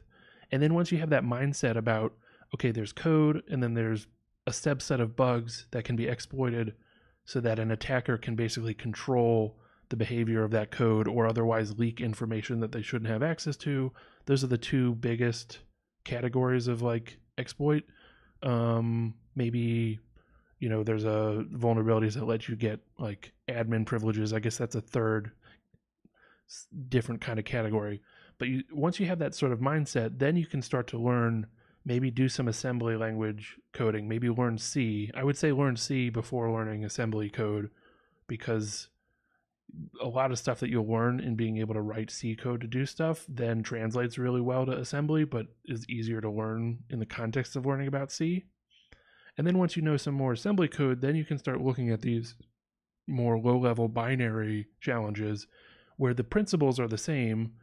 The code has been written in a certain way, but there's a bug that can be exploited. It's just that the details of what those bugs are and the mechanisms for exploiting them are in a different category than a web kind of situation. And so the knowledge that you're leaning on to be able to understand those exploits or sorry, understand those vulnerabilities and create exploits for them is just a whole different set of skills that you're going to have to learn if you don't have any assembly C low level kind of knowledge. Um, so that's what I would suggest is like sort of build on where you're at right now, and then if you think the level low level stuff looks cool, start going in that direction as well. There's definitely stuff on Try Hack Me where they have some uh like buffer overflow exploits, things of that nature, and that's a perfectly good way to get started uh, because they they're they're very like instructional oriented. There's only a couple of them that I'm aware of, I think, but um, you can at least get a feel for like, oh, was that fun? Did I enjoy doing that stuff? Maybe I should continue pushing in that direction and and see if I can learn more about this low level stuff. I think for some people that side of thing turns out to be not very fun and they want to do primarily the web stuff, but it's all in the same mindset of this like offensive security. How can I find the vulnerabilities and then weaponize them as it were, exploit them uh to achieve my own goals. Um which pairs well on the other side with defense of like how can we then prevent you from taking advantage of the vulner- of the vulnerabilities that do exist and figure out how to fix the vulnerabilities so that they no longer exist. Uh, but yeah, the web stuff. I mean, especially if you're looking for a career in infosec and you want to maybe do pen testing stuff, try hack me is a great way to get started.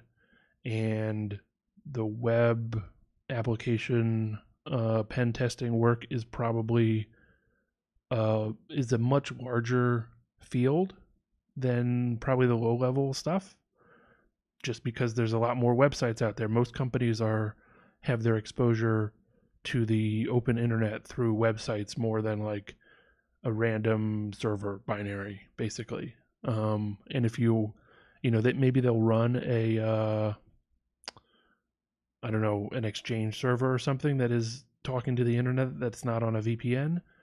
But things like Exchange and the other big like software that you might just run directly on the open internet, but is still like a binary program, uh, those will have been analyzed quite a bit. So it's even harder than than usual to find new vulnerabilities in there. It's not impossible, certainly, but it's it it takes a lot of experience. It seems like like I don't think I would be able to do that right now. How long have you been doing pen testing? I've actually never worked as a pen tester. Um, so yeah, uh, the stuff I'm doing right now is because I find this stuff really fun, and I would like to get into vulnerability research and sort of finding and reporting zero day bugs that are in these low level like binary exploit categories. Um, the sorts of like, oh, there's a bug in the JavaScript for Firefox, the JavaScript engine. So if you go to a malicious website, then it can take control over your computer. Yeah, certain bug bounty categories. So in particular, like uh, the zero day initiative, zero day initiative, not the. Um, if you yeah this is a new or not a new but it's another kind of bug bounty program generally speaking it's like a Bugcrowd or a HackerOne or uh, whatever the other big one is um, but it's more they don't take like most web vulnerabilities they're more focused on the like binary applications and stuff. So like here's a bunch that just came out um literally yesterday in Adobe Reader, I guess. Oh no, Premiere um character animator, I don't know. But like they have a lot from Adobe, a lot of stuff from Microsoft, especially for either the kernel in Windows or Hyper-V, um I guess FreeBSD kernel and yeah, so these are the sorts of programs that they are usually accepting or I say offering money. I guess they're offering the bounty money on on programs created by these uh companies and not necessarily like um a, a bug in a web framework or certainly not like hey somebody has deployed a website and they've configured it poorly which is totally a the kind of bug bounty that you can get in something like HackerOne. So if there's like uh, McDonald's.com and they have some back end website for their management system or something, and you can get access to it because it's part of the bug bounty program, and you find, hey, they put a generic like password one two three is one of the ways to get into the system. Like that's absolutely a bug bounty that you can get a little bit of money for. That's probably on the low end of money, just because it's uh a really easy fix. They just shouldn't set a really bad password. But you know, that's not a broad category of like that doesn't mean the Wendy's website also has that bug, right? So these are these are like the bug is in the software itself and anybody that deploys Hyper-V or VMware or something would have this issue. And that's why they they end up paying a lot for these bugs. Um potentially tens of thousands of dollars for a lot of these. So this is what I would like to get to eventually. Um, but I mean, I'm gonna have to practice a lot, and then I'm gonna have to start practicing on real world things, and then I'm gonna have to start like pulling out all these advisors and seeing if I can go through them and follow along with what they're doing, and then I'm gonna have to get really good at fuzzing because that's how you actually find the vulnerabilities in these binary programs versus I guess it's like the equivalent of the enumeration stuff that happens on pen testing, where you need to find what all the domains are and what all the pages on those domains are. Uh, because if you can't find the pages, then you don't have anything to look at to see if it's vulnerable. So enumeration and fuzzing, these like searching for what could be vulnerable, is a super critical part of the actual real world bug bounty vulnerability research or assessment task and it's i'm sure it comes up in if you're doing pen testing work on a which is just the same thing but as a private contract and you get paid even if you don't find any thing although it would be weird if you didn't find anything uh is my understanding of pen tests like they they usually aren't run by companies that are so perfect at security that nobody can find any problems. Um, yeah, so that's what I would suggest. Uh, and if you're looking at stuff for Try Hack Me, there's just a lot of content. Um, they let you stream working on any of their programs or any of their uh, rooms, as they call them. And maybe Vulnversity is like the way to start because then you can learn about the different kinds of web uh, vulnerabilities. And I would also check out uh, a whole category of people on. I think you can probably, um, if we go to Twitch and search for, uh, try hack me. Yeah. Oh no, that's the account try hack me. But they they're on. But um, there's a category. My browser will load it. It doesn't want to load it. Um, but you can definitely. Hmm. I don't know. The people that I would suggest looking up are like uh, optional CTF. He does tons of that stuff. And there's various other folks. Um, I think maybe the Cyber Mentor does some stuff. The Mayor 11, I think, uh, does a bunch of boxes on there.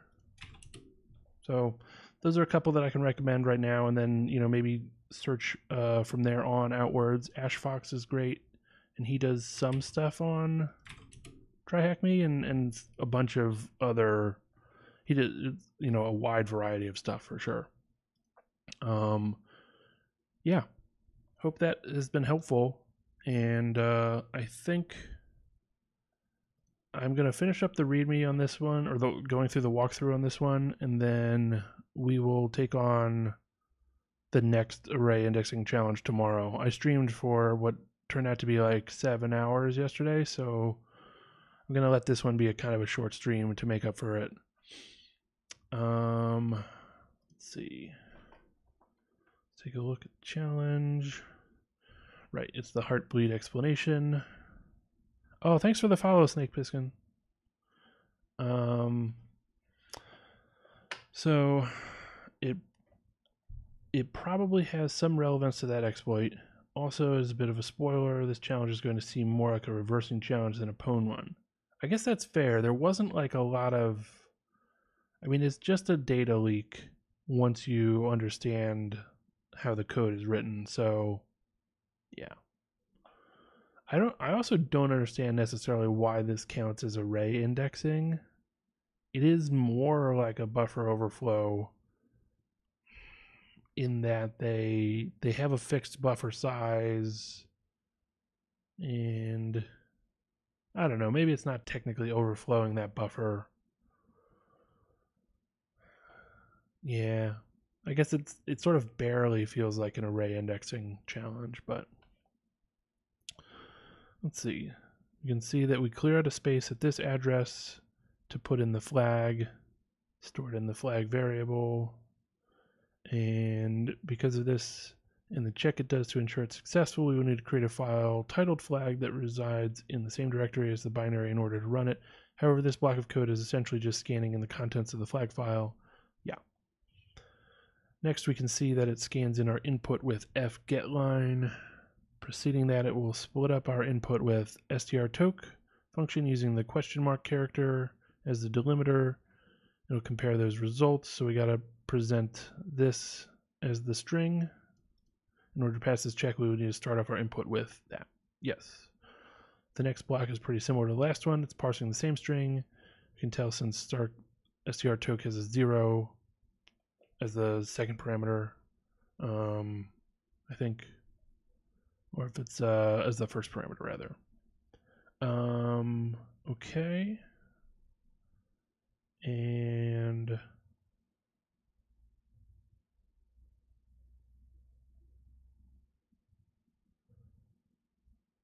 we don't need our input to be a specific string. Oh, maybe this is talking about the next chunk. Okay. This one, yeah, we need to say if so, reply open quote and then it doesn't need to be any specific stuff between the quotes. Sure. And calls str token initial input twice more. Okay. I don't need to go through the details of how it's trying to parse the input. Uh, let's see. So then it scans in to get the the number that we provided for number of letters. Passes the address of globals to puts to print it out. Our input is copied to globals in a in a previous block. Yeah. Um, it will null terminate a value at some offset we specify, which if it is in between the start of our input and the start of the flag, we won't get the flag. In addition to that, it does a check where if the index we give it is past the length of the string that starts at globals, it returns. So this is the key. We need to give it a number here where that number needs to be after the flag because if we put it before the flag, then we aren't going to print out the whole flag because that'll be the end of the string. So when we call puts on it, it'll just print up to that null byte. But we also need to not put it after the like immediately after the end of this of the flag. We can't put it 10 bytes after the end of the flag or 100 bytes after the end of the flag and just print out a bunch of garbage afterwards. We need to put it exactly at the end of the flag Otherwise, this check uh, will fail and we'll go into the nice try and exit negative one. So that's what they're that's the key that we needed to figure out. Now the offset between the start of our input and the flag is OX200, 512 bytes. So we see we need to have a string uh, of length 200 hex copied over to globals in order to leak the flag. To pass the index check, we can just set it to be the very end of the string. Of course, when we run it remotely, we don't know where the end is, but we can just guess and check. Let me, I'm reading too fast and not thinking about what I'm reading. To pass the index check, we can just set it to be the very end of the string.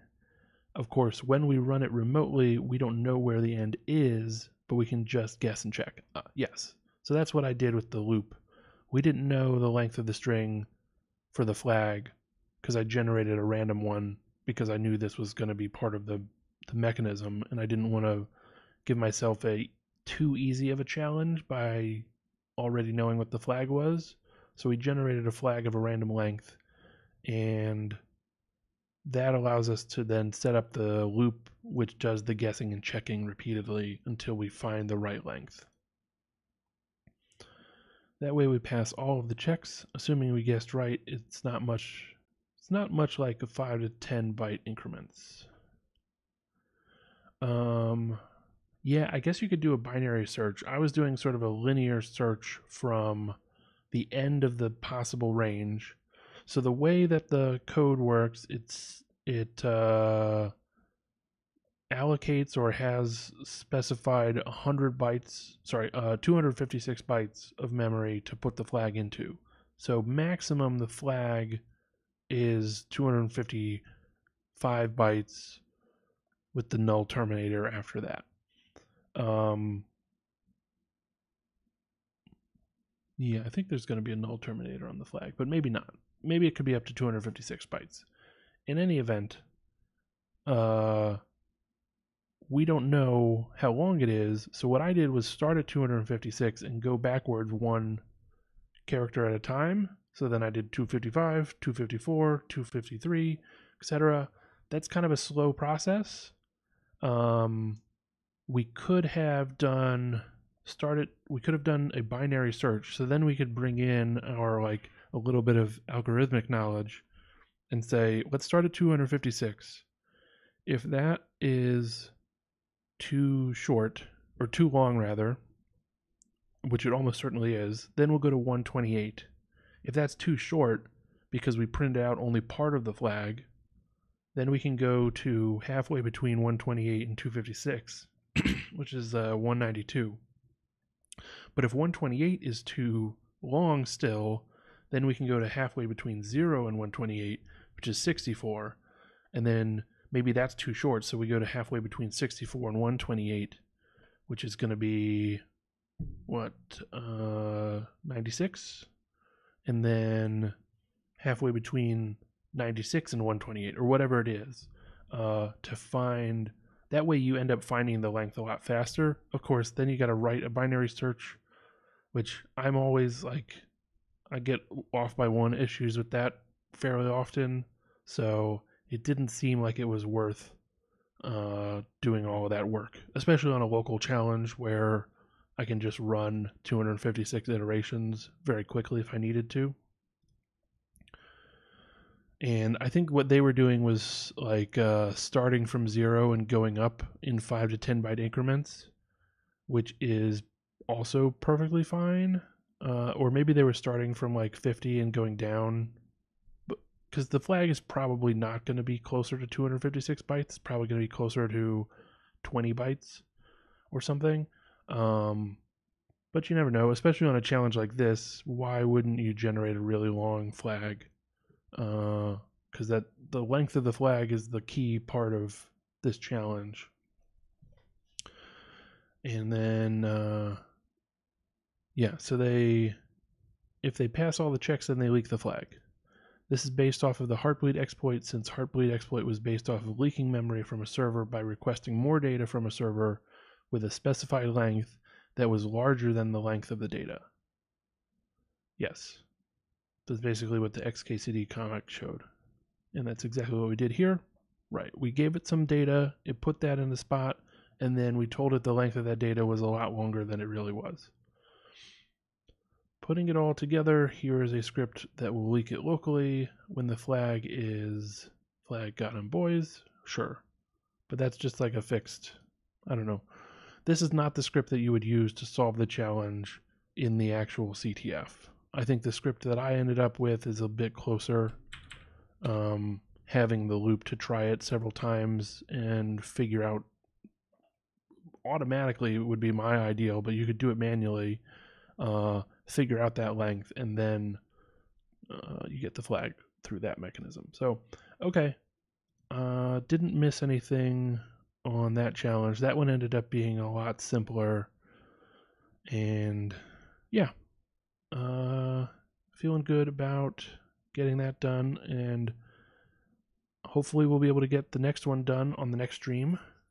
If I end up going a little longer on the next stream, maybe we could do two of them. We'll see. Thank you to everybody that has joined in chat um, and or is just watching uh, the live stream. I can put my info up here.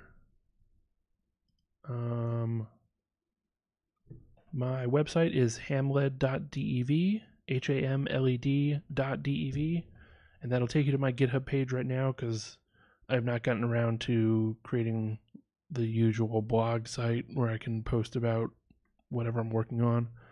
But if you want to contact me, uh, my email address is there on the GitHub page. So if you have a challenge that you'd like me to work on, especially like a binary exploit kind of challenge, feel free to reach out to me over email, send it over, and I'll try to take a look at it on stream. And uh, you can also contact me on Twitter at Hamled Online, H A M L E D Online and uh, just send me a tweet or whatever. Uh, follow me if you want. Sometimes I retweet stuff about programming. Sometimes I retweet stuff about politics, U.S. politics in particular. Uh, JAL97 says, What you normally do, binary exploitation. That is uh, what I have been doing on a. So, right now, I'm trying to do every day some more binary exploitation to get through this whole course. I think, uh, depending on if there's actually people watching on a regular basis, I might start putting in other stuff that's maybe a little more entertaining to watch for an audience. Maybe I'll do some try hack me rooms or something. And I do want to start working on my own sort of tools and, and writing code that'll help me understand things a little bit better. So writing code for uh what is the right term? Um, not disassembling, but uh, not decompiling certainly. Um, decoding, decoding like x86 instructions, because uh, despite all of my attempts, I still don't quite have a good intuitive sense of the binary representation of the machine code for x86 instructions and writing some code that goes from the machine code instruction to the assembly instructions will probably help me get a better sense of that. Just i'll have to write all of the logic into my code so i'll better understand it. Um, pe or elf uh, all the stuff that's in this challenge or on in this course are elf binaries because they're all linux which i think is just very common for ctfs um, there's just a, a strong emphasis on like using linux uh, or i mean you could use unix as well but these are linux compiled binaries. Um, uh, what am i saying? So a lot of ctfs you'll just have elf binaries as the the thing to work with. Maybe a ctf that's very heavily focused on reversing will then have stuff that's pe um, and you know windows binaries. So if you go to like uh, Flare-On which is a series of ctfs um, that are entirely about reverse engineering. They can we see some of the previous? They uh,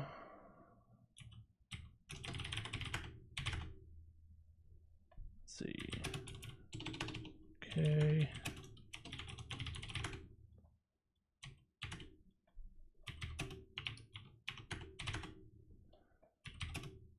Hmm. Do they have information? Oh, you just have a zip file. So there's not even really like a good site with like uh write it or um I don't know preview text about each of the challenges. It's just a zip file with a ton of binary files in there and you're supposed to reverse engineer them to find a flag. And so some of them will be PE files, some of them might be ELF files, some of them might be like DOS or um, Commodore 64 or uh, a weird image format, not even a executable program. They go the full gamut of whatever they can come up with to be like weird and unusual um, file formats and and uh, executables. And that's sort of the the fun of this reversing challenge because the it's put on by FireEye who do a lot of malware analysis. I think the malware analysis team is the Flare team in at FireEye. Um, and yeah, uh, so they're always, you know, their day to day job is like looking at weird binaries that malware uses to do its whatever mal- malicious stuff. And so they figured it the challenges that they want in their CTF are reflective of that kind of stuff. So that's where you might see a PE binary, but like uh, a DEF CON qualifier CTF probably not going to have any PE binaries in it, just because then everybody playing it would have to like have a Windows machine or set up a Windows VM in order to get in there and put their tools on Windows. It just adds more complication. Uh, and the default assumption is everybody's re- using Linux for whatever reason probably you know have Kali if you don't have your own Linux setup, I guess. Um, that being said, I have reversed stuff that is PE, not for exploitation purposes, but like playing video games and wanting to do like uh, hacking on those games or something. Um, that's where I have uh, done most of my PE based reversing work, but I don't think I've done any actual Windows like vulnerability exploitation. Um, I would like to get to that point. It seems a little more advanced. The Windows kernel stuff and, and all of that is uh, more complicated, it seems like, than Linux. Um, generally interested only in ELF and Linux. So then you're you should, you know, be in a good spot to do CTF stuff and, and all the stuff in that nightmare course that I linked. Um, and the stuff and thus the stuff that I'll be doing on stream is going to be all in that category. Yeah. Uh, Snake asks, "Are you running a VM box?" Um, so I'm running Linux as my host OS, and then the challenges that I'm working on for the Nightmare course are running in an Ubuntu VM that I have set up because that was just sort of what they recommended in the introduction. Uh, I think, I don't remember, it seemed like the thing to do when I got started on this. So they're all sitting in there, but realistically, I could probably run them on my host. And yeah, this is radare uh, over here. Um, I'm using it because these binaries are relatively simple. I think I'm not as skilled with it uh, as I am with uh, Binary Ninja, which is the program that I use when I'm doing more involved reversing work for like large binaries rather than a CTF challenge where almost all of the code that you find is related to the challenge. If you are working on a, you know, some general purpose program, you've got just oodles and oodles of code that aren't necessarily going to be relevant to whatever exploit you're trying to develop or whatever vulnerability you have found. And so having a more having a tool that you're more familiar with, let's say, because I don't want to say I don't want to badmouth radare and say it can't do stuff for that. I don't know. I'm just not as capable with it to know how to use it on that level. Um, but for these relatively simple challenges, radare works and it runs in the terminal, which is the situation that I'm in because I have this VM that I'm just SSHing into. Uh, what was the challenge this time? It was this uh, DEF CON qualifiers 2016 XKCD challenge, where uh, you they are they sort of implemented the Heartbleed um, TLS vulnerability, but as a uh, static buffer in the binary. So you provide some data to write into a buffer, and then you provide a length for that data, and it basically puts a null terminator at that length, and then read and then prints out your buffer. And so if you give a length that is longer than the actual amount of input that you gave, you can leak data. The whatever data immediately follows the end of your buffer for the input that you gave. And as it happens, that location immediately following your input space is the flag. So it was it ended up being relatively straightforward. Um, you just write enough data to fill up that buffer and then give it a number that is larger than that buffer by exactly the length of the flag and it will then print out your buffer and the flag. And the trick is you don't know what the length of the flag is, so you got to repeatedly guess uh, at numbers until you find what the actual length of the flag is, and then it'll print it out for you. And I wrote a little script to do that guessing repeatedly, and that that worked for me. Okay, uh, I can see. I don't.